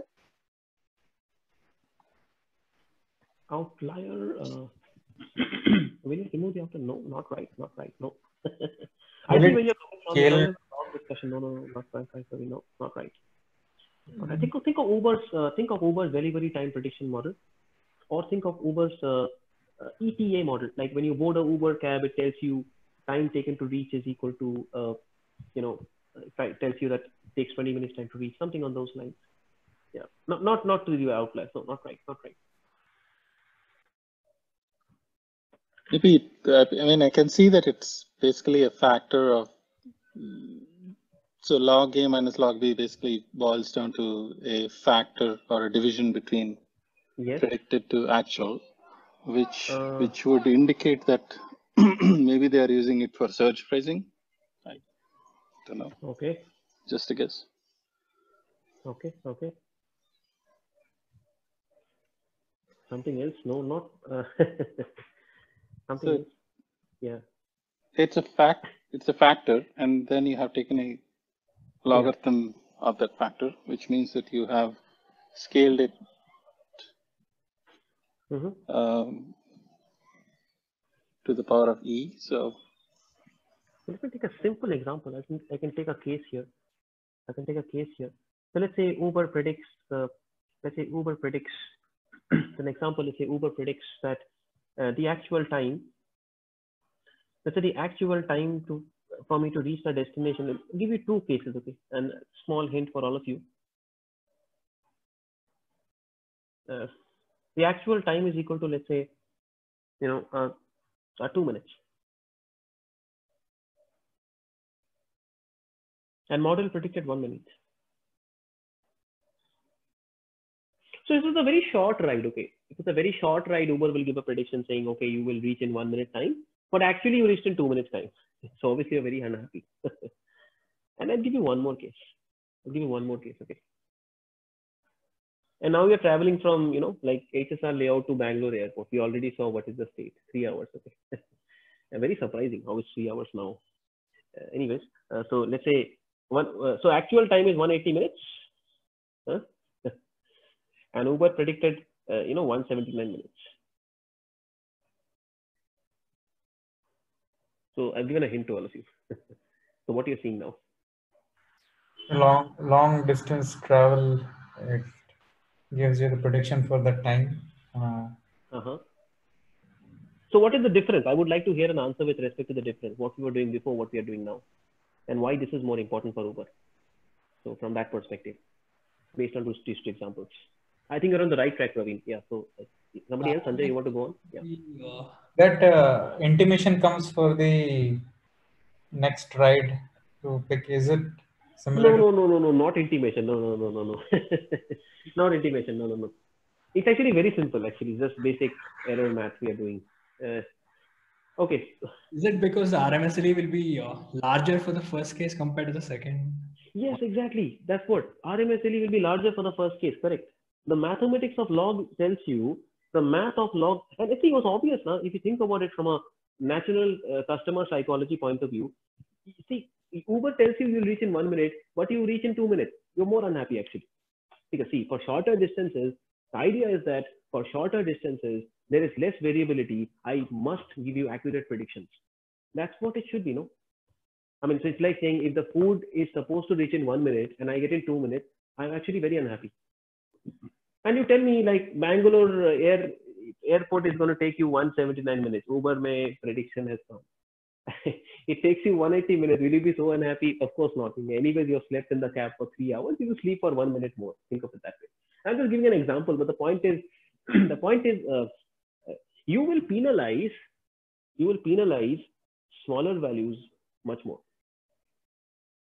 The math works out in a way, the math works out in a way, for RMSE, the math works out in a way where the difference is equally penalized. like if you look at 2 minus 1 whole square and 180 minus 179 whole square, the difference is 1 in both, right? They're both equally penalized. but that is not right. I don't want it to be, I don't want it to have equal penalization. I want the, the, the mathematics of log works in such a way that if you see, if you look at the math of logs, that's your x and that's your, uh, you know, log x. That's the math of log. Log is a distribution like this. That's your log distribution. And, and what happens here is that's your one and that's your two. Let me just point it out here. That's your one and that's your two. So log one, log two minus log one is a very high value, as, as, as rightly mentioned. But log 180 minus log 179 is not a very high value. It's a very small difference. So this is 180, this is 179. And this difference, y difference is not large. Whereas log 2 minus log 1, the difference is large. This, this y difference is very large. This is a very high difference. So I, am going to penalize this much more. That's the way to look at it intuitively. So this is again based on you know domain to domain. So this is an interesting way. So generally regression problems we stick to these metrics. We don't go beyond these metrics. This is what we look at generally. So no matter what business problem we are looking at, uh, generally these are the metrics that we typically talk about. Yes, so this this uh, introduces the emotional component of the customer, how mm -hmm. feeling. Exactly. Yes, hundred percent. Yes, true. Exactly. So obviously, uh, in a way, that's how it should be. That's how it should be. So if, you, if your values are really large, the penalty should not be so much. I mean, anyways, you know, so in a way, that is also incorporated in a way. Yes. Okay.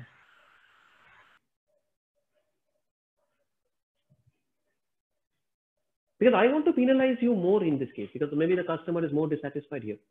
Anyways, I'm incorporating that with the customer feedback also. That's different, but this is incorporated. It's, it's obvious. I mean, it's a normal customer sentiment. I mean, if, if it tells you like, it, it, you, I, I will, I will drop you in 10 minutes. And if it is percentage increase, no guys, I, I know, I know one and two is hard to digest, but let's take 10 and 20. So on one hand, I will take 10 and 20. okay. 10 and 20 is coming here, 10 minutes, and it, the ride takes like 20 minutes. Okay, and now Bangalore airport, you know, 180 minutes, but model predicted 160 minutes. It's okay. I mean, it's okay. I mean, it's not a big deal, right? Very close to 180, no? But this is a big deal. This is a big deal. 10 minutes, 20 minutes is a big deal because you have a meeting in, uh, uh, you know, 10 minutes. You plan the ride accordingly and you miss the meeting now. That's the problem. Okay? That's the way to look at it. Okay, great. So uh, let's move on.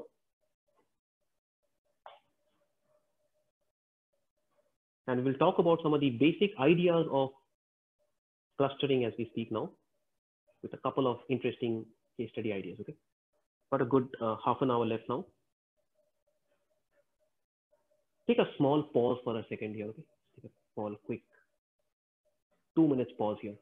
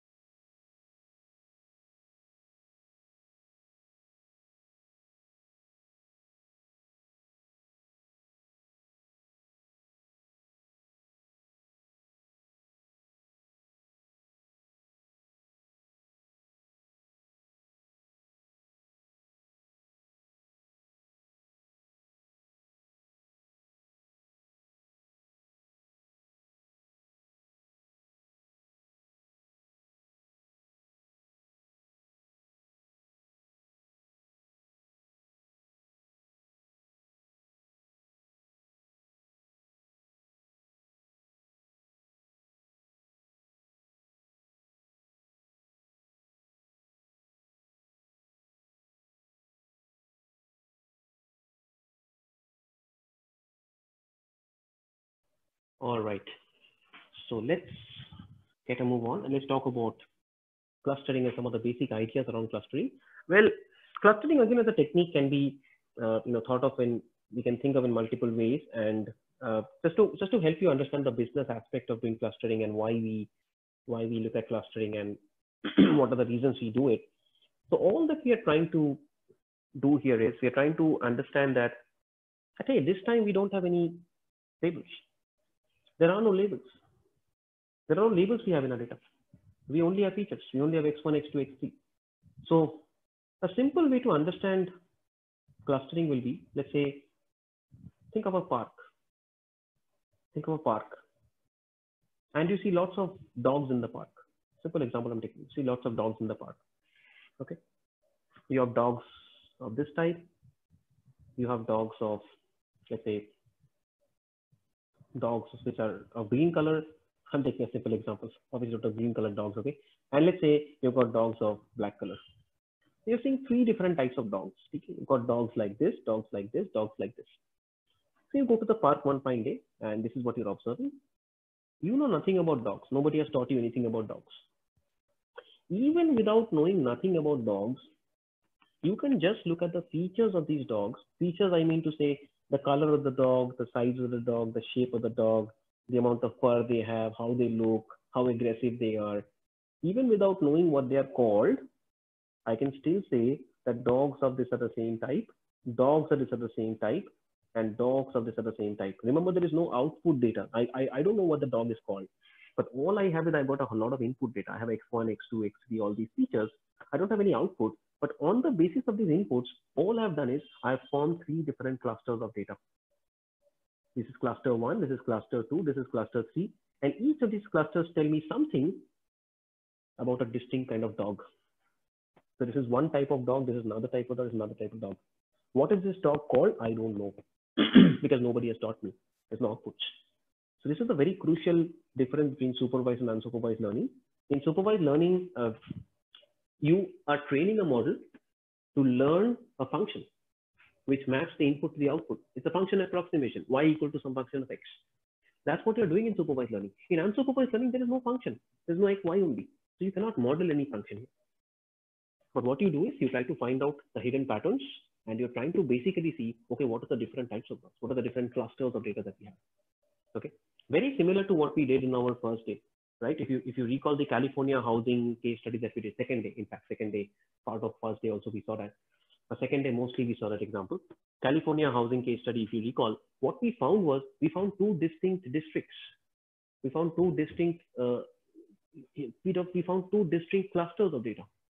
The entire city of Cali uh, state of California we found two distinct clusters of data, one around San Francisco, one around Los Angeles, two distinct peaks of we found actually. And hence, I, I use this term on, on the first day also. Hence, unsupervised learning, technically we can say, is a kind of uh, EDA. So whatever uh, clustering that you're talking about right now, we're looking at clusters. We're looking to identify clusters. What are the clusters of groups of data? You go to the park and you see the different types of dogs, and you see, okay, these are dogs of one type, dogs of one type. Of... All you're doing is, it's not a prediction problem. It is only exploratory data analysis problem. It's an EDA problem. It's a more advanced way of doing EDA, basically. All you're saying is, okay, these are dogs of some type.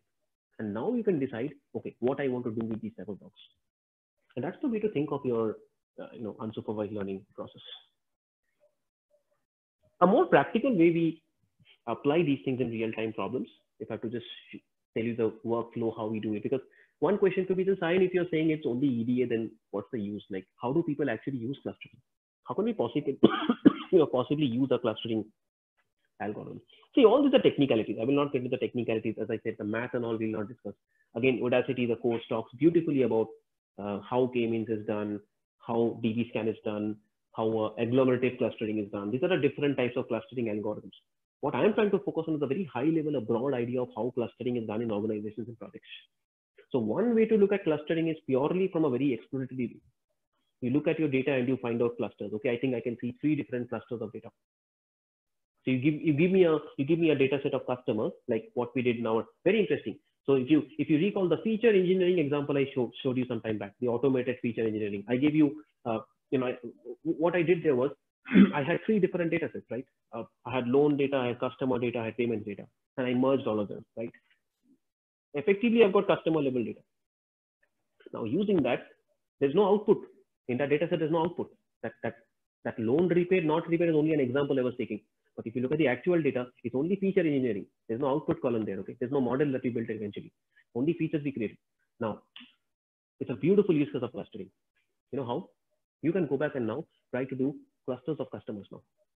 Now you've got all these features of customers. Okay, this is customer ID one, client ID one, and that client ID. Uh, when was the last date you took a loan? How much total loan amount? What is the skew of loan rate? All of those features you've got. All 800 features you've got.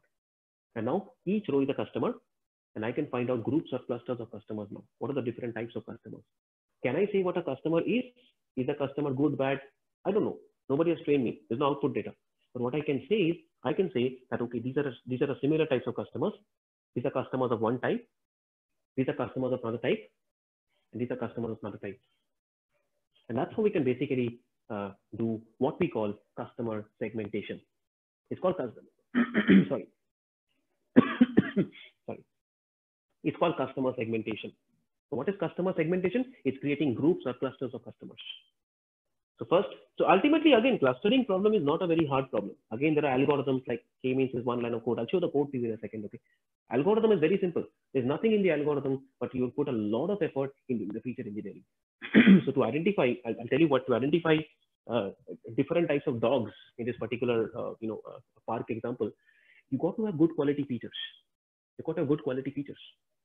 See, I cannot, like, for example, I cannot just have a fur feature. No, just an example, okay? I know it looks funny, okay? But I, I just cannot have one feature called fur and say, okay, fur is present, fur is present, fur is present, fur is present. I'm sorry. Uh, let's say you're looking at five, seven different types of dogs and you only have information about fur. What clustering can you do? It's obvious no all dogs have furs, right? You tell me one dog that doesn't have fur. I mean, see, fur and fur, and we can debate about what is fur, but the point is, you, you, you have something of skin, right? All dogs will have some basic attributes, right? Now you're saying, okay, eye is there. So you say the dog has eyes. Obviously, eye will be there, no? So does the dog have eye? Yes, yes, yes, yes, yes, yes, yes. These are the two features we have got. Can you do clustering on this? Of course not. What clustering will you do? they have the same kinds of dogs only. Now to do clustering effectively, feature engineering. Feature engineering, you have to create better quality features. Now you start adding better quality features. Now you start saying, okay, aggressiveness. Maybe you've got uh, these, you know, bulldogs, bulldogs, and maybe you've got these, uh, uh, I don't know, these these German shepherds, okay, Alsatians, okay. Not okay. These are these uh, very cute little dogs, no, small small dogs you've got, okay. and these are the now you've got some something very powerful, and now you've got something more powerful, the size. So typically these aggressive dogs, very big, large in size, large in size, large in size. And now you've got something very powerful. Small in size, small in size, large in size, small in size. And now you can say that, hey, from all these features, I can say that I've identified two distinct clusters of dogs. So one cluster of dogs based on all the features. These are worthless features, by the way. You can drop these features. Again, the ideas of feature engineering that we talked about remain the same in clustering. There's no difference. The good quality data, garbage in, garbage out. So feature extraction, create better quality features, and feature selection, uh, you know, kind of remove the worthless features, only use the important features. Now, what are the distinct clusters of dogs you found out? Okay, I, I can I can see this is one distinct cluster. This is one type of dog. This is one distinct cluster I found. I'll take a green color here, okay? So, okay, what's that? Give me a second. Uh, not able to select the color. Okay, give me a second, guys. Ah, this is one distinct color, one distinct uh, cluster of dogs, and this is one more distinct cluster. This is the this is one distinct cluster, and the other distinct cluster. So two distinct clusters of dogs. One is the green cluster, and the other is the blue cluster.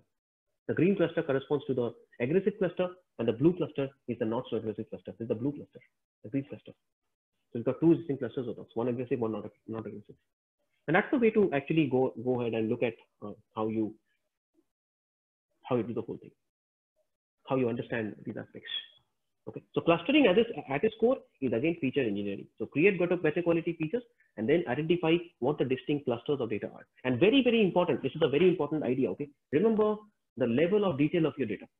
So what is the level of detail of your data? Very important. So one aspect where I find a lot of people struggling. Right? Whenever you're getting data from your source system, understand the level of detail of your data. So if you're doing customer, if you're trying to create clusters or groups of customers, if you're trying to do customer segmentation in the line of your business or in the line of Walmart business or in the line of any retail business or the line of any telecom business, customer level data has to be important. So transactional data that you collect from your system might not be there. So data from the transactional system might be in any format. And now you have to do a group by customer ID. You have to convert it to a customer ID level of detail. Exactly what we did in the uh, feature engineering problem. So for every customer, what is the average loan rate? What is the total uh, loan amount? What is the average payment? So every customer, I'm collecting features of the customer. And now I can do segmentation of customers, groups of customers I can create. And their algorithms are very different idea. That, that is very different. That's the maths around it. But it's the idea behind it, how you transform your data first, right? If you're trying to do, uh, let's say clustering of uh, movies, can you do clustering of movies? Yes, you can. You can go to IMDb. You can take a list of all the movies movie one, movie two, movie three, movie four. Every movie will have a characteristic. What is the total runtime, box office rating, and all that. On the basis of that, okay, these are movies of some one type, movies of another type, movies of another type. Are you trying to are you trying to classify a movie as good, bad, or something? No, I'm not. It's not a sentiment analysis model. Can you do that? Yes, you can if you have labeled data for it. But we are just looking at clustering. What are the different groups of movies? Can you do clustering of items? Yes, you can. You can cluster items together. Something that Amazon is already doing, right? So you, so one way to do it is you can probably uh, manually label a particular item belonging to a particular category, electronics category, mobile category. But hey, looking at the looking at the features of an item, can I uh, cluster the items into similar buckets? Yes, I can. That's clustering of products, similar groups of products. Google is doing clustering in a big way. So what are the kind of clustering Google is doing? Google News, excellent example of clustering. Google News. Let me take you there. So look at Google News, all of you. Google News, look at this. So Google Pixel 5. Okay, sorry, I think I I searched with Google, so obviously so the search term will obviously come first, right? Let me just uh, have a generic uh, thing. News.google.com, straightforward. Sushant Singh Rajput, something came up on him. So we can read about it later, whatever it is. So you can see right now, all these news stories are grouped under the same header all these news stories are grouped under the same header. China reacts, PUBG is banned, good for the country, I guess. Everybody, you know, it's a waste of time in a way, PUBG. PUBG got banned today. Okay. Anyways, uh, so all these all these news stories are grouped together. Why? You know, on the basis of what? Now you understand uh, a little bit of textual data. Now you guys know how to convert a news story to numbers. That that entire article that you're talking about is nothing but numbers. You can convert that to a document or matrix. So one row, each row is basically one article now. It's document or matrix. All it's all about features. Ultimately, it's all about features.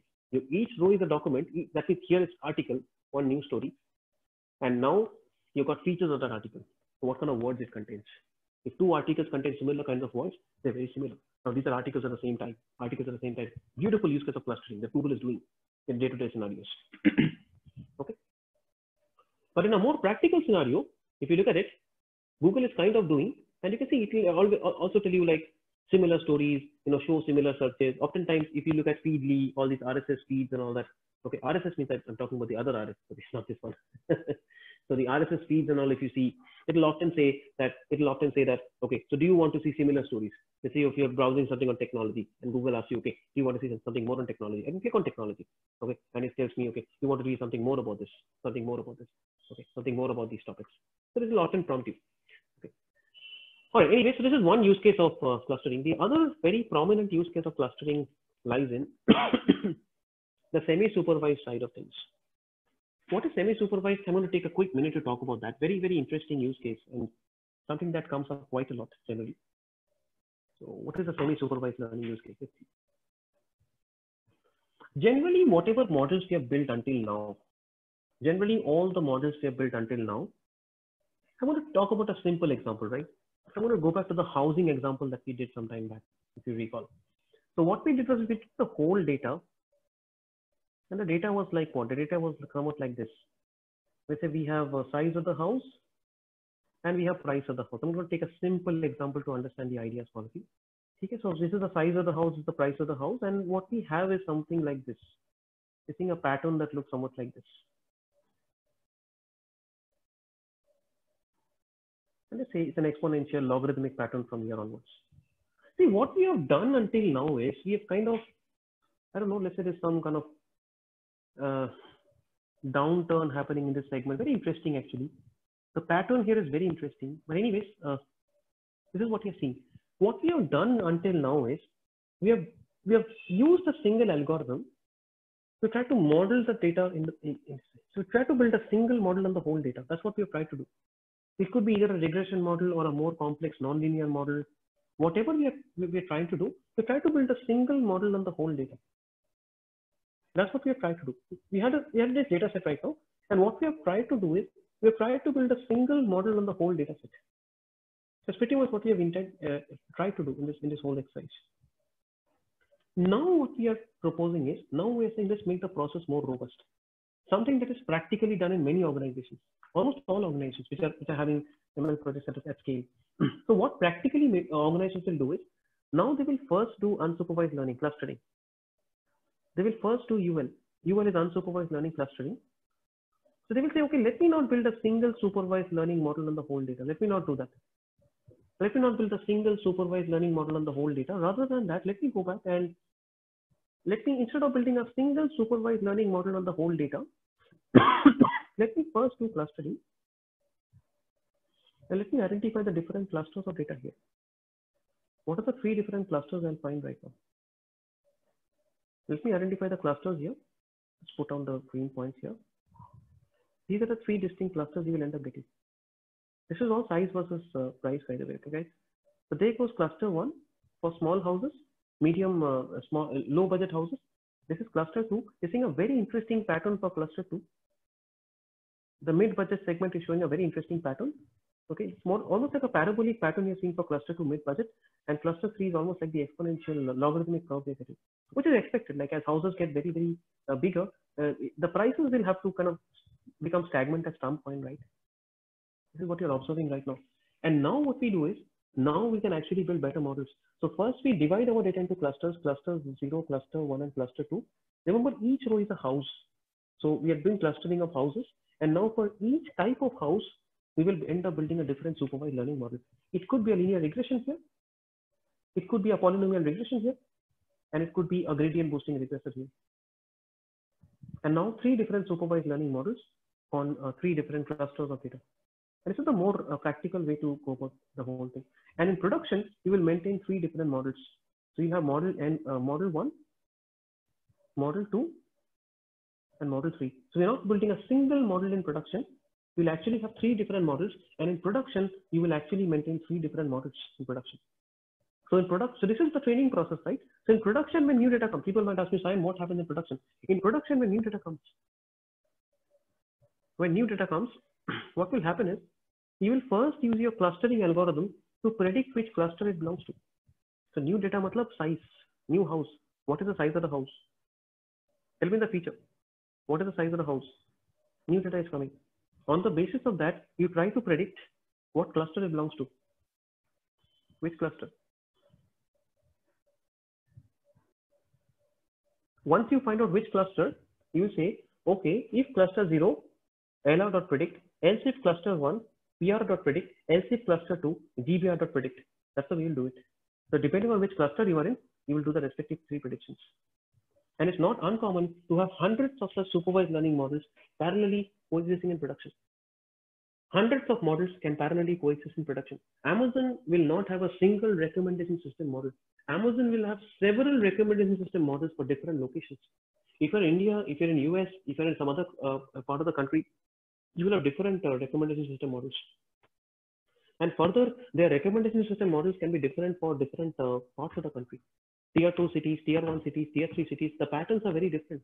If the patterns are very different, you don't want a single model to represent all the patterns. Because what happens, guys, if I use a single model to represent all the patterns, I see, can I not do it? I mean, you can argue that fine, we have learned so much of ML. Can we not do that? Can we not draw a single model that represents all these patterns? Yes, you can do it, but the problem is overfitting. There's so much of variation here. If you try to incorporate a single model to represent all these patterns, no, you will actually end up getting overfit models. So they will work very well in training, but they will not generalize well in production. Hmm. the patterns are so varied. You can see, look at the look at the medium housing segment. It's such a varied pattern. It's very hard for the model to learn. I'm making it easy for the model to learn and generalize. let me cluster it out and let me learn it separately on the image. This is what we call semi-supervised learning. Okay, unsupervised plus supervised is semi-supervised. This is unsupervised part. This is semi. This is supervised part, and in a way we can call it a semi-supervised learning workflow. This is a very common kind of thing you will do in production. If I to relate it to customer segmentation and a very common kind of use case that telecom companies are using nowadays, a very common use case is they're using churn, churn analysis, right? Churn prediction. Like how do you predict whether a particular, like same use case that we're discussing, attrition prediction. How, how do you predict whether a particular customer is going to leave my service or is going to kind of uh, move on to a different service provider? How do you predict that? Churn prediction, right? You will not build a single churn prediction model on the whole data because there are so many variations. Customers will have so many, you know, there's, there's so many possible variations that the customers will have that you will not build a single churn prediction model on the whole data. That becomes very complex, very, very difficult process actually to maintain. So I will not build a single churn prediction model on the whole data. Rather, what I will do is I will first do unsupervised learning, do a clustering workflow, break your data into different, different clusters, find out the different groups of customers, customer group one, customer group two, customer group three. Each group of customers will tell a different story about the customer. Maybe group one customers correspond to people who, uh, so to take an example, let's say, uh, you know, let's say group one customers are people, let's say we talk about Reliance Jio, so Jio has a lot of money with it right now, and they'll be doing a lot of this data science work. They're already doing it. I think they're the, at the forefront of uh, data science that they're doing right now. A lot of amazing work they're doing right now in this field. Uh, so let's say, you know, let's say I would say uh, they're doing a customer churn prediction model, and one of the first steps they would have taken is they would have they would have done some clustering, and they've identified that hey, like uh, I've broken my entire customer data Okay, let me not use any names here. just, just an example I'm taking. Okay, anyways, so it's a data and uh, let's say I've done unsupervised learning or clustering on the whole data and you've identified that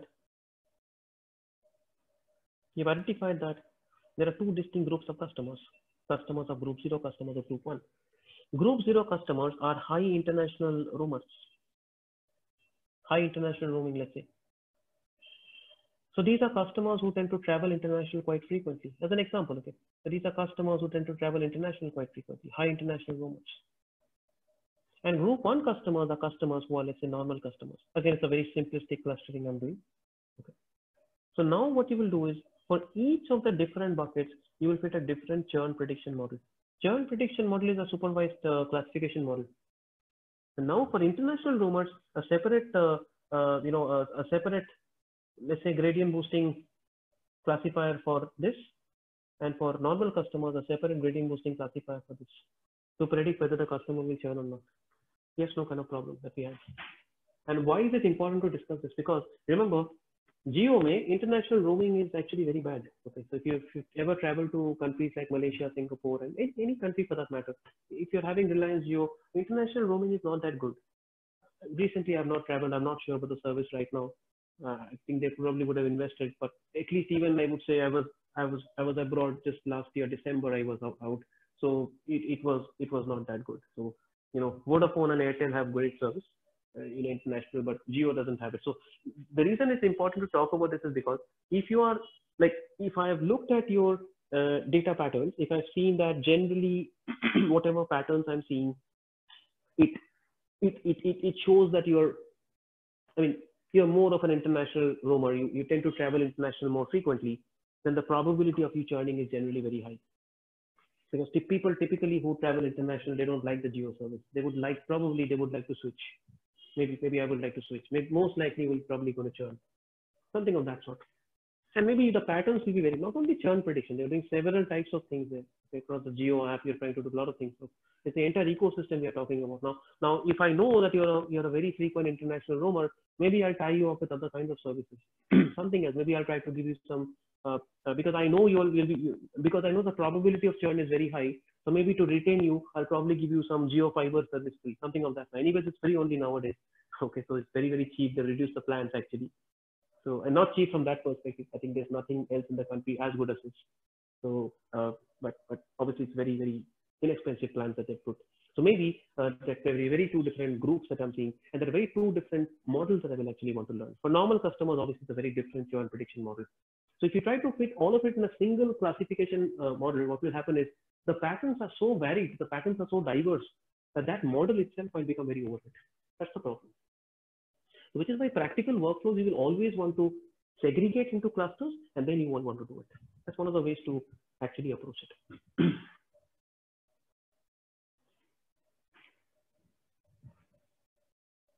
Clustering also can happen through many, many ways, just like we have seen uh, supervised learning workflows can happen through many different means. Clustering itself can happen through many different means. The, the one obvious uh, kind of clustering that you have is the k-means clustering. It's the most basic kind of clustering that we have. Uh, got a wonderful demo plan for this, which I'll just show you. I will not get to the math, guys. The math is something I've given some reading material to read from. So please study from, please do study from that. It's important to read those aspects. I'm not trying to discount the maths, but that's not what we intend to do here. That's why I'm not getting into that aspect. But there are several different clustering methods available. Just like we did the walkthrough of the, you know, the, the classification models. And this is the this is a small idea of, of what you have in the world of clustering. There's several different ways to cluster data. And remember, uh, it's not just about a single, it's not just about a single model that you will use. It, it, it's the wisdom of the crowd here also. It's the wisdom of the crowd here also. It's completely unsupervised. You will not know that one technique is giving you the right results or not. You'll want to go back, try out multiple techniques, uh, learn from multiple techniques and, and use an ensemble in, in some capacity. So here also, uh, read about it. I would say uh, if, if, this sounds too overwhelming, the most important clustering techniques we generally talk about and which the Udacity course touches upon also very nicely. They explain those things in a slightly mathematical way is mini batch k-means, mini batch k-means, and we're talking about DB scan and we're talking about agglomerative clustering. These are the three techniques that generally uh, gets talked about and used in practice. So I would say read about these three techniques. At least get you introduced to the world of clustering, how you do it. Right. So again, you can see there's no label here in case you're wondering, sorry, what about the colors? How have you colored your data? we have colored our data purely based on cluster numbers. We have colored our data purely based on cluster numbers, not based on labels. There's no output that we have right now. So purely based on cluster numbers, we have just uh, colored our data. Okay, that's the way to kind of look at it, how it's happening. And just to show you visually, I think it's just fun to learn these concepts visually. And you might not see these references used in uh, some of these books and articles that you will refer. So I still want to ping you these references so that you can read about it more. Uh, these are two very popular clustering techniques, and I found these visualizations very helpful, very effective in the learning process. So as you're reading about these topics in detail, I will encourage you to kind of uh, refer to these visualizations. For example, uh, you're seeing that there are total four clusters, and this is how the k-means algorithm kind of is working. That's the math behind k-means, how it's happening. But you know, after it, after it does the entire thing, it will iterate. There are several of these iterations it will do, and there's a, there's a certain algorithm that is actually working on the basis of which k-means is happening. And Finally, the clusters that I will basically get will look somewhat like this. That's how the clusters will kind of converge right now. You see four beautiful clusters coming out right now for me. And that's the k-means way of doing it. And, the, and, and, and one of the things to remember, this is one quick takeaway for all of you from this whole thing. K-means will typically build spherical clusters for you. So k-means is a very simplistic technique generally. A very simplistic technique. It will typically build spherical clusters for you. And we have one more thing called DB scan. DB scan stands for density based clustering. It's a slightly more uh, advanced clustering technique. And DB scan will build wonderful clusters for you. For example, I have something called a pimple smiley. You want to see how a pimple smiley looks like, let's say. Very interesting. I can show you this example here. So uh, I think it's just fun to try it out. Okay. So you can click on go and you can see how amazingly the clusters actually get built here. It's not, it's not like a spherical approach. It's kind of a very you know, density-based approach. Density-based approach means you're uh, you're trying to find out like what are the high density points and you try to gobble it up. Think of it like think of it like you try to go, think of it like the Pac-Man game. No, you try to try to gobble up the dots in front of you. it's, it's almost like that. This is just a very very powerful way of doing clustering. One one great one great thing about DB scan uh, is that uh, the outliers are very well handled here. So in k-means, even the outliers will be part of your clusters, but in dbscan, the outliers are excluded in a way. So you can see how beautifully it kind of understands that the mouth is somewhat separate and it's not nearby, and it kind of understands this beautifully. Look at the outliers, the noise points. These are called noise points. Dot dot dot dot dot. That's what we call the noise points. And the noise points are excluded from clustering. So how beautifully the model understands what to do. So it's not about one technique and not the other technique, but it's more about uh, using a combination of all these uh, different techniques. That's how we practically go about this whole thing. Okay. Okay, questions, guys. we get a long session here. Just to show you the application, the code is not so hard. Uh, I, I, will encourage you to read about it later on, but the code is not so hard. I wanted to show you briefly what it is, but let's say this is my V1 and V2 features we have got. Okay, uh, there's no output data you have got right now. There's two features V1 and V2 we have got. And all that we are trying to do is uh, we are trying to uh, kind of do the clustering and we have tried to uh, kind of figure out what groups they belong to.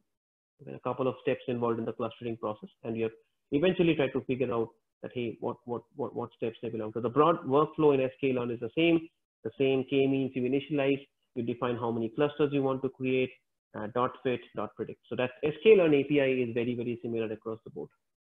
Okay? And as the cluster numbers how many clusters? Three clusters zero one and two.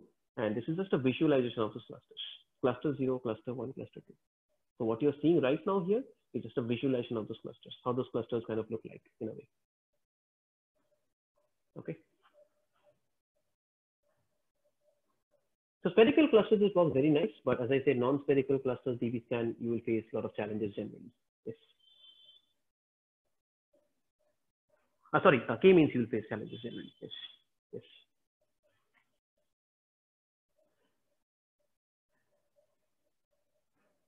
So uh, Shalja, in case of unsupervised learning, since we don't know the output value, how can we find out if the data or also algo is a good fit?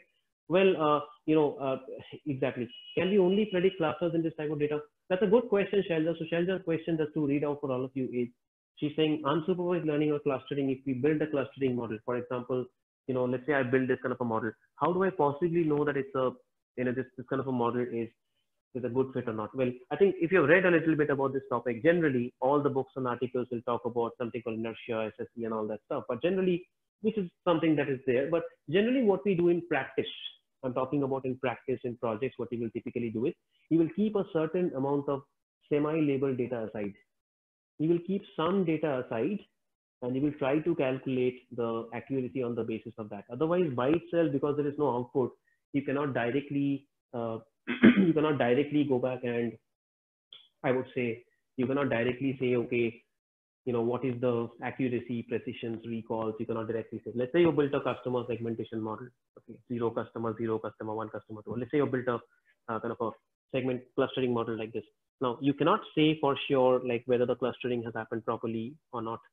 There are metrics you can use, obviously, that and all you've got, but generally, one of the more popular approaches we use is we, we keep aside some part of this data as semi-labeled data. So we, we, we, we, use domain experts help and we keep some part of this data for semi for, semi-labeled data. So for example, we'll keep some part of this data aside and we say, okay, this is, let's say this is all green. We'll keep some part of this data aside and we'll say this is red. And we'll keep some part of this data aside and we'll call it blue. That's, that's like our test set. That's like our test set. So once we build the clustering model, we will let the model predict, okay, what these actuals are, what these predicted are. Actuals I know, this is labeled by the domain experts. And now I'll compare. Okay, so uh, actual by domain experts say they are part of cluster zero. Uh, my clustering model says they're part of cluster zero. So I think correct classification. So that so you can you can actually in a way think of a clustering problem as a uh, I would say the classification problem. And now we can calculate precisions, recalls, F1 scores, accuracy the same way uh, through this uh, approach. Did you understand what I said? Does it make sense? Yeah. This is yes, one of the ways we can actually, yeah. Okay. So, so like a semi-label way of doing it. Yes. So we use this label data as, as a part of validation or a test. Yes, yes, yes. Of, as a part of validation. Remember, domain expert is, is a very important part of clustering. You will always have some room for error. You will always have some room, but you have to sit with your domain expert, especially if I'm talking about customer segmentation models.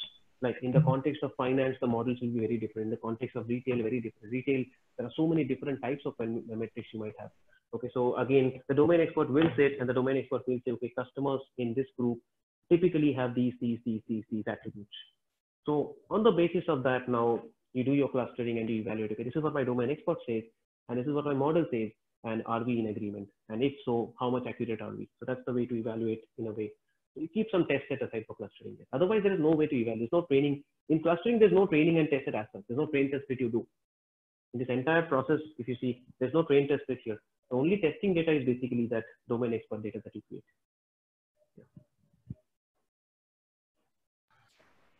Sam, can And, you and yeah, yeah.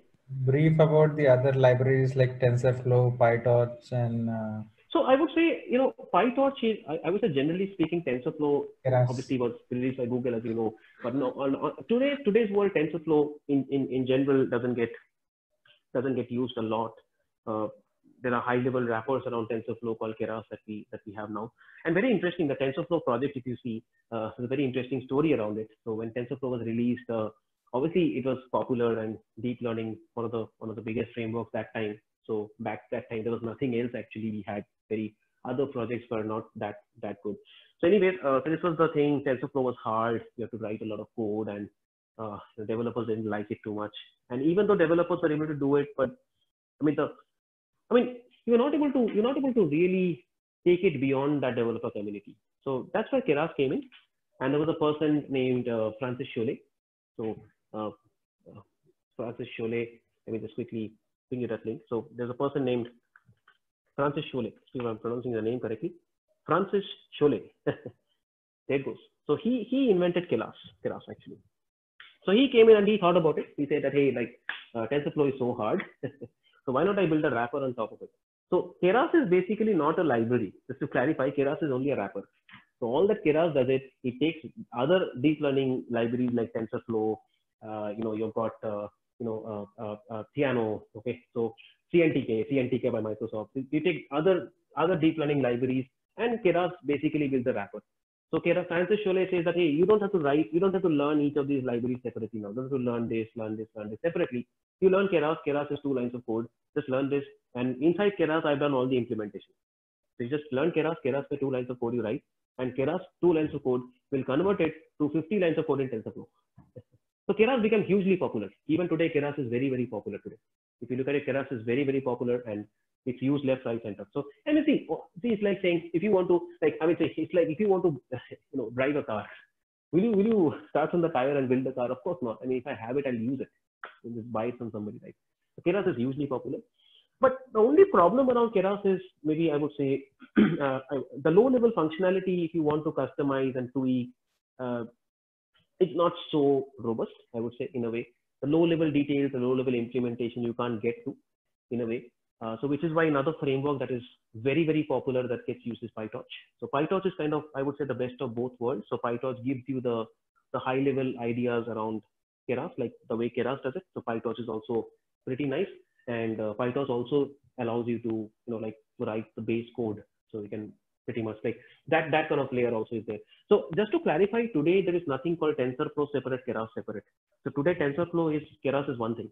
Because what happened was, you know, Google is also smart, no? They hired him actually. so Francis Chollet, he later went on to join Google and he actually like, and, and today there is nothing called, see if you're, if you're doing this deep learning thing, maybe even few years back, you will import TensorFlow separately, Keras separately. We used to call it TensorFlow Keras. But today there is TensorFlow Keras. Actually, there's nothing called TensorFlow and Keras separate. Today is basically called TensorFlow Keras. So TensorFlow, so it, it's like saying you're, it's, it's part of the same code base. So now the module that you use is basically TF Keras. So it, it, it, it's the same thing. The idea is the same. Okay. So now your Keras is uh, the, the code base is the same. Okay. So this is this is in comparison with sklearn, right? Uh, so it is a kind of a competition. Exactly. So what you have, so it's like saying in classical machine learning, whatever we have studied in sklearn, open source uh, in sklearn. So in, in deep learning, that will be Keras in a way. So yeah. so what you have in sklearn in, in, in classical ML, you have in Keras in, in, in deep learning. Keras is also very simple actually. And I would say that book I recommended to you on the first day, Hands-on Machine Learning with Scikit-learn TensorFlow. It's a very good book, very good book. And 60% uh, of the book talks about machine learning. The remaining 40% of the book talks about deep learning. Deep learning is introduced in a nice way. And, they, and, they, and, and see, the ideas are not very different now. Now that you have studied the concepts of ML, you understand the basic ideas of regression, classification, you understand the flow deep learning is nothing different. Same thing you're doing there also. The only difference is you are using something called neural nets. Well, neural nets can be very hard, okay? to learn neural nets is hard, I agree. But Keras says, okay, one line of code you can implement neural nets, right? In fact, you know, I, I, I shared this a few days back in my post actually.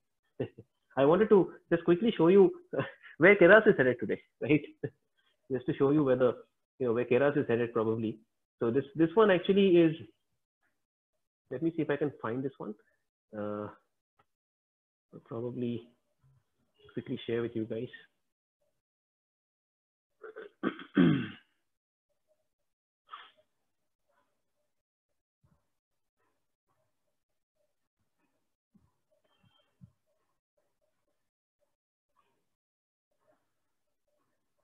This is what we had actually. Okay, so if you look at the code right now, what we are doing is we are building a Keras model, and this is GPT-3. Okay, GPT-3 is an OpenAI language model. What we have, that's something else actually.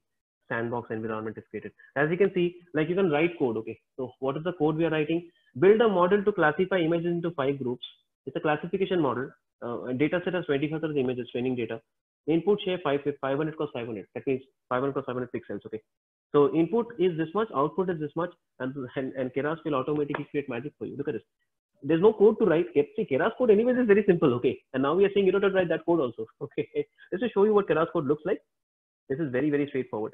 That's your deep learning code. Yes, there are a few layers here like activation, value, all those things are there, but ideas are very simple. Okay. So it's like, you know, import the stuff and then you con 2D convolution neural network, add a CNN layer, add a max pooling layer, and you know, like it's kind of uh, yeah. templatize the. Yeah, I mean, this is incredible. This let's creator, you can see like you wrote English sentence and it created the whole model in Keras. But uh, yeah, so the same thing in, in, in TensorFlow would have taken you like 100 lines of code, but in Keras, the same thing is like hardly 10 lines of code. Yes. It's not very hard. You can see the same thing is repeating model.add, model.add, model.add. It's like the, this is, this is how Keras kind of modelizes the whole thing. It's very simple, it's very easy to learn actually. Very simple ideas.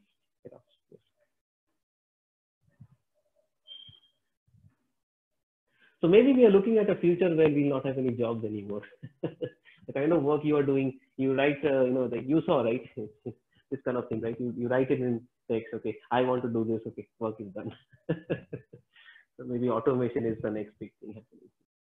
And it's, it's a reality actually. A lot of this work is happening now.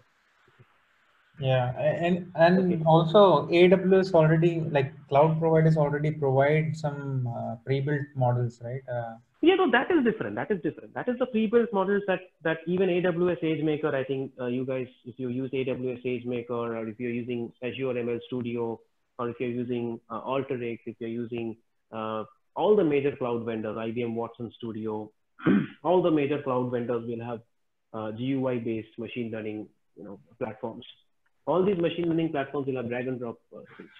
So all this while you know we have seen the ideas, the code implementations, but you have got drag and drop GUI based uh, things available. See, anyways, we are not saying sklearn is not hard. sklearn is not, you know, sklearn is not hard. They're, they're also random forest classified. Something is happening. I don't care what's happening. I'm just using it. But now we are taking it to the next level. Now we are saying, okay, random forest is there. Don't have to write code. Just drag and drop it. Just build a workflow. And just to just to clarify what we are, what I'm saying, your Azure Machine Learning Studio the Azure Machine Learning Studio. And I like Azure because of the UI, obvious reasons. I, I think I'm more biased in favor of Microsoft because I like their UI quite a bit. I like the UI quite a bit, the way they've designed it and the way they're investing on it. So that's a little, uh, little, little awesome. Okay, the way they're doing it. A lot of other vendors also, but I think they're doing it, they're doing a good job generally. You can see uh, the UI is very nice, uh, just beautiful the way they're, the way they've set it up. You can see reader, you're reading your data, splitting your data, uh, train test split. Okay, so it's incredible like how the thing is happening. The boosting model here, another support vector machines here, model scoring happening here, model evaluation happening here. So just a just a drag and drop. Like there's nothing to do actually beyond the point. Now the now the important thing is basically the concepts, the domain knowledge. Basically, how do you look at all these factors? But yes, obviously you can't say that you don't need to know anything, but like it's getting easier and easier by every passing day in a way. Yes. And there are many such platforms. Almost every, uh, even a lot of statistical software that we had uh, now have these components in, incorporated.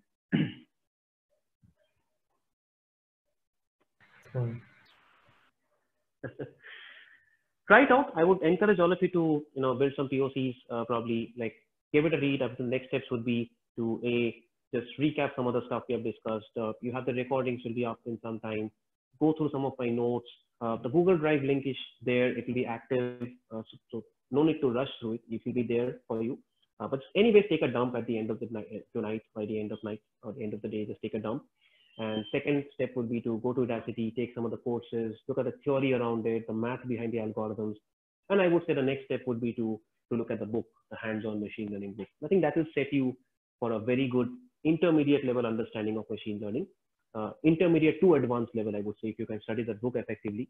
And from there, I would say, uh, don't waste time on any other courses and stuff. Straight away get to problems and try to solve it. I think that should be the roadmap of how you should follow now. Yeah.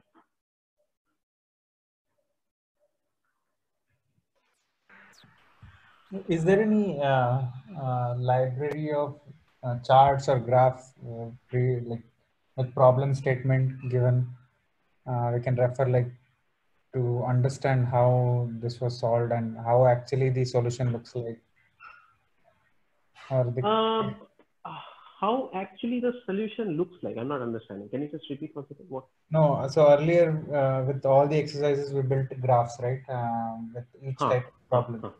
Is there any uh, kind of library of such problems listed and we can go through? Like Kaggle already provide the notebooks available, right? Uh, open notebooks. Yes, yes, have- yes, yes. But no, that is different. But I'm not understanding. You're saying no, that is different. What you're saying is an open source repository of notebooks. So are you asking me for exercises, solved problems, data sets? Yeah, or are you asking me for some Kind of a GPT kind of thing where you type something and you get the answer?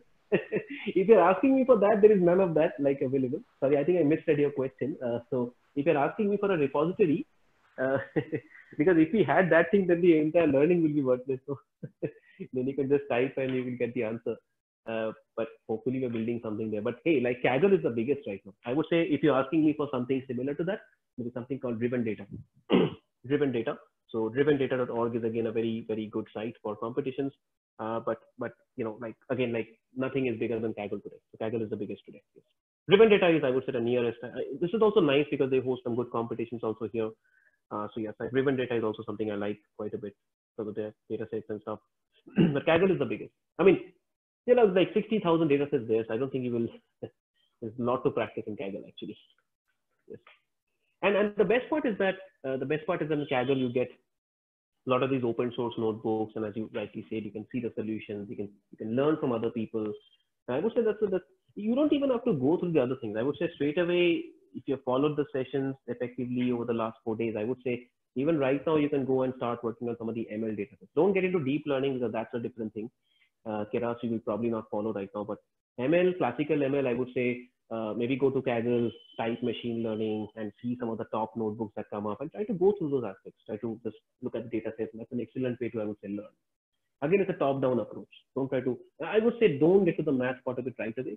Look at it at a later time.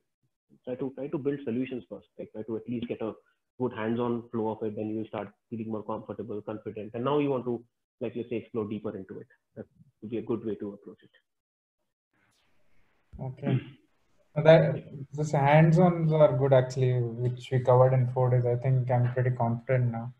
Yes, so I think uh, so. I would say so. Some of that I, I also that's why I wanted to you know mention the hands-on ML book also. so I would say that's an excellent. I think one of those case studies we also covered from there. I think think it should get you going. Now now I, I'm very confident when you see that book now, the first 50% of your book is going to be a breeze. Going to be a breeze actually. this should be very simple. Yeah. So the next 60% will be a little hard. That will be like on you know deep learning. But yeah, the first 50% will be a breeze. You can see some of those concepts are there. Very similar to what we talked about. Yes. Now the math is something you did not cover there also. That's a hands-on book. It's like a cookbook. So the math is not covered. Another another good uh, you know resource I will probably share with you. Uh, there's this person called Chris Albon. He also has a wonderful book. So I have to share one other resource with you. Uh, Chris Albon. so Chris Albon also has a wonderful book actually. Chris Albon. So he has a blog as well. Very nice blog where he posts about uh, some of these topics. Very nice. It's, it's almost like a cookbook. No theory. Uh, just just just a cookbook kind of thing. Let's say uh, you can you can read about it. Very nice. So he has a book on o'reilly. You guys will have o'reilly access as well. So you can straight away probably look up uh, let me see the name of this book. Machine learning cookbook. So machine learning with python cookbook. It's a very good book.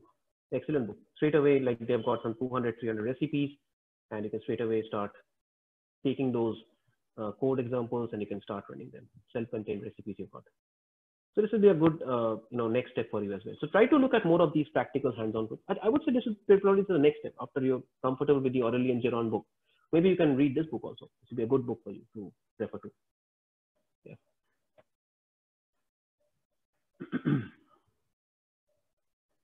so here also you cover some deep learning later on.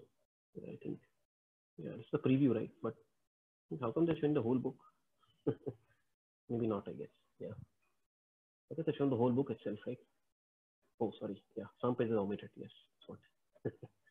okay, great. Uh, yeah, this is a good book. Did I ping this to you guys? I think.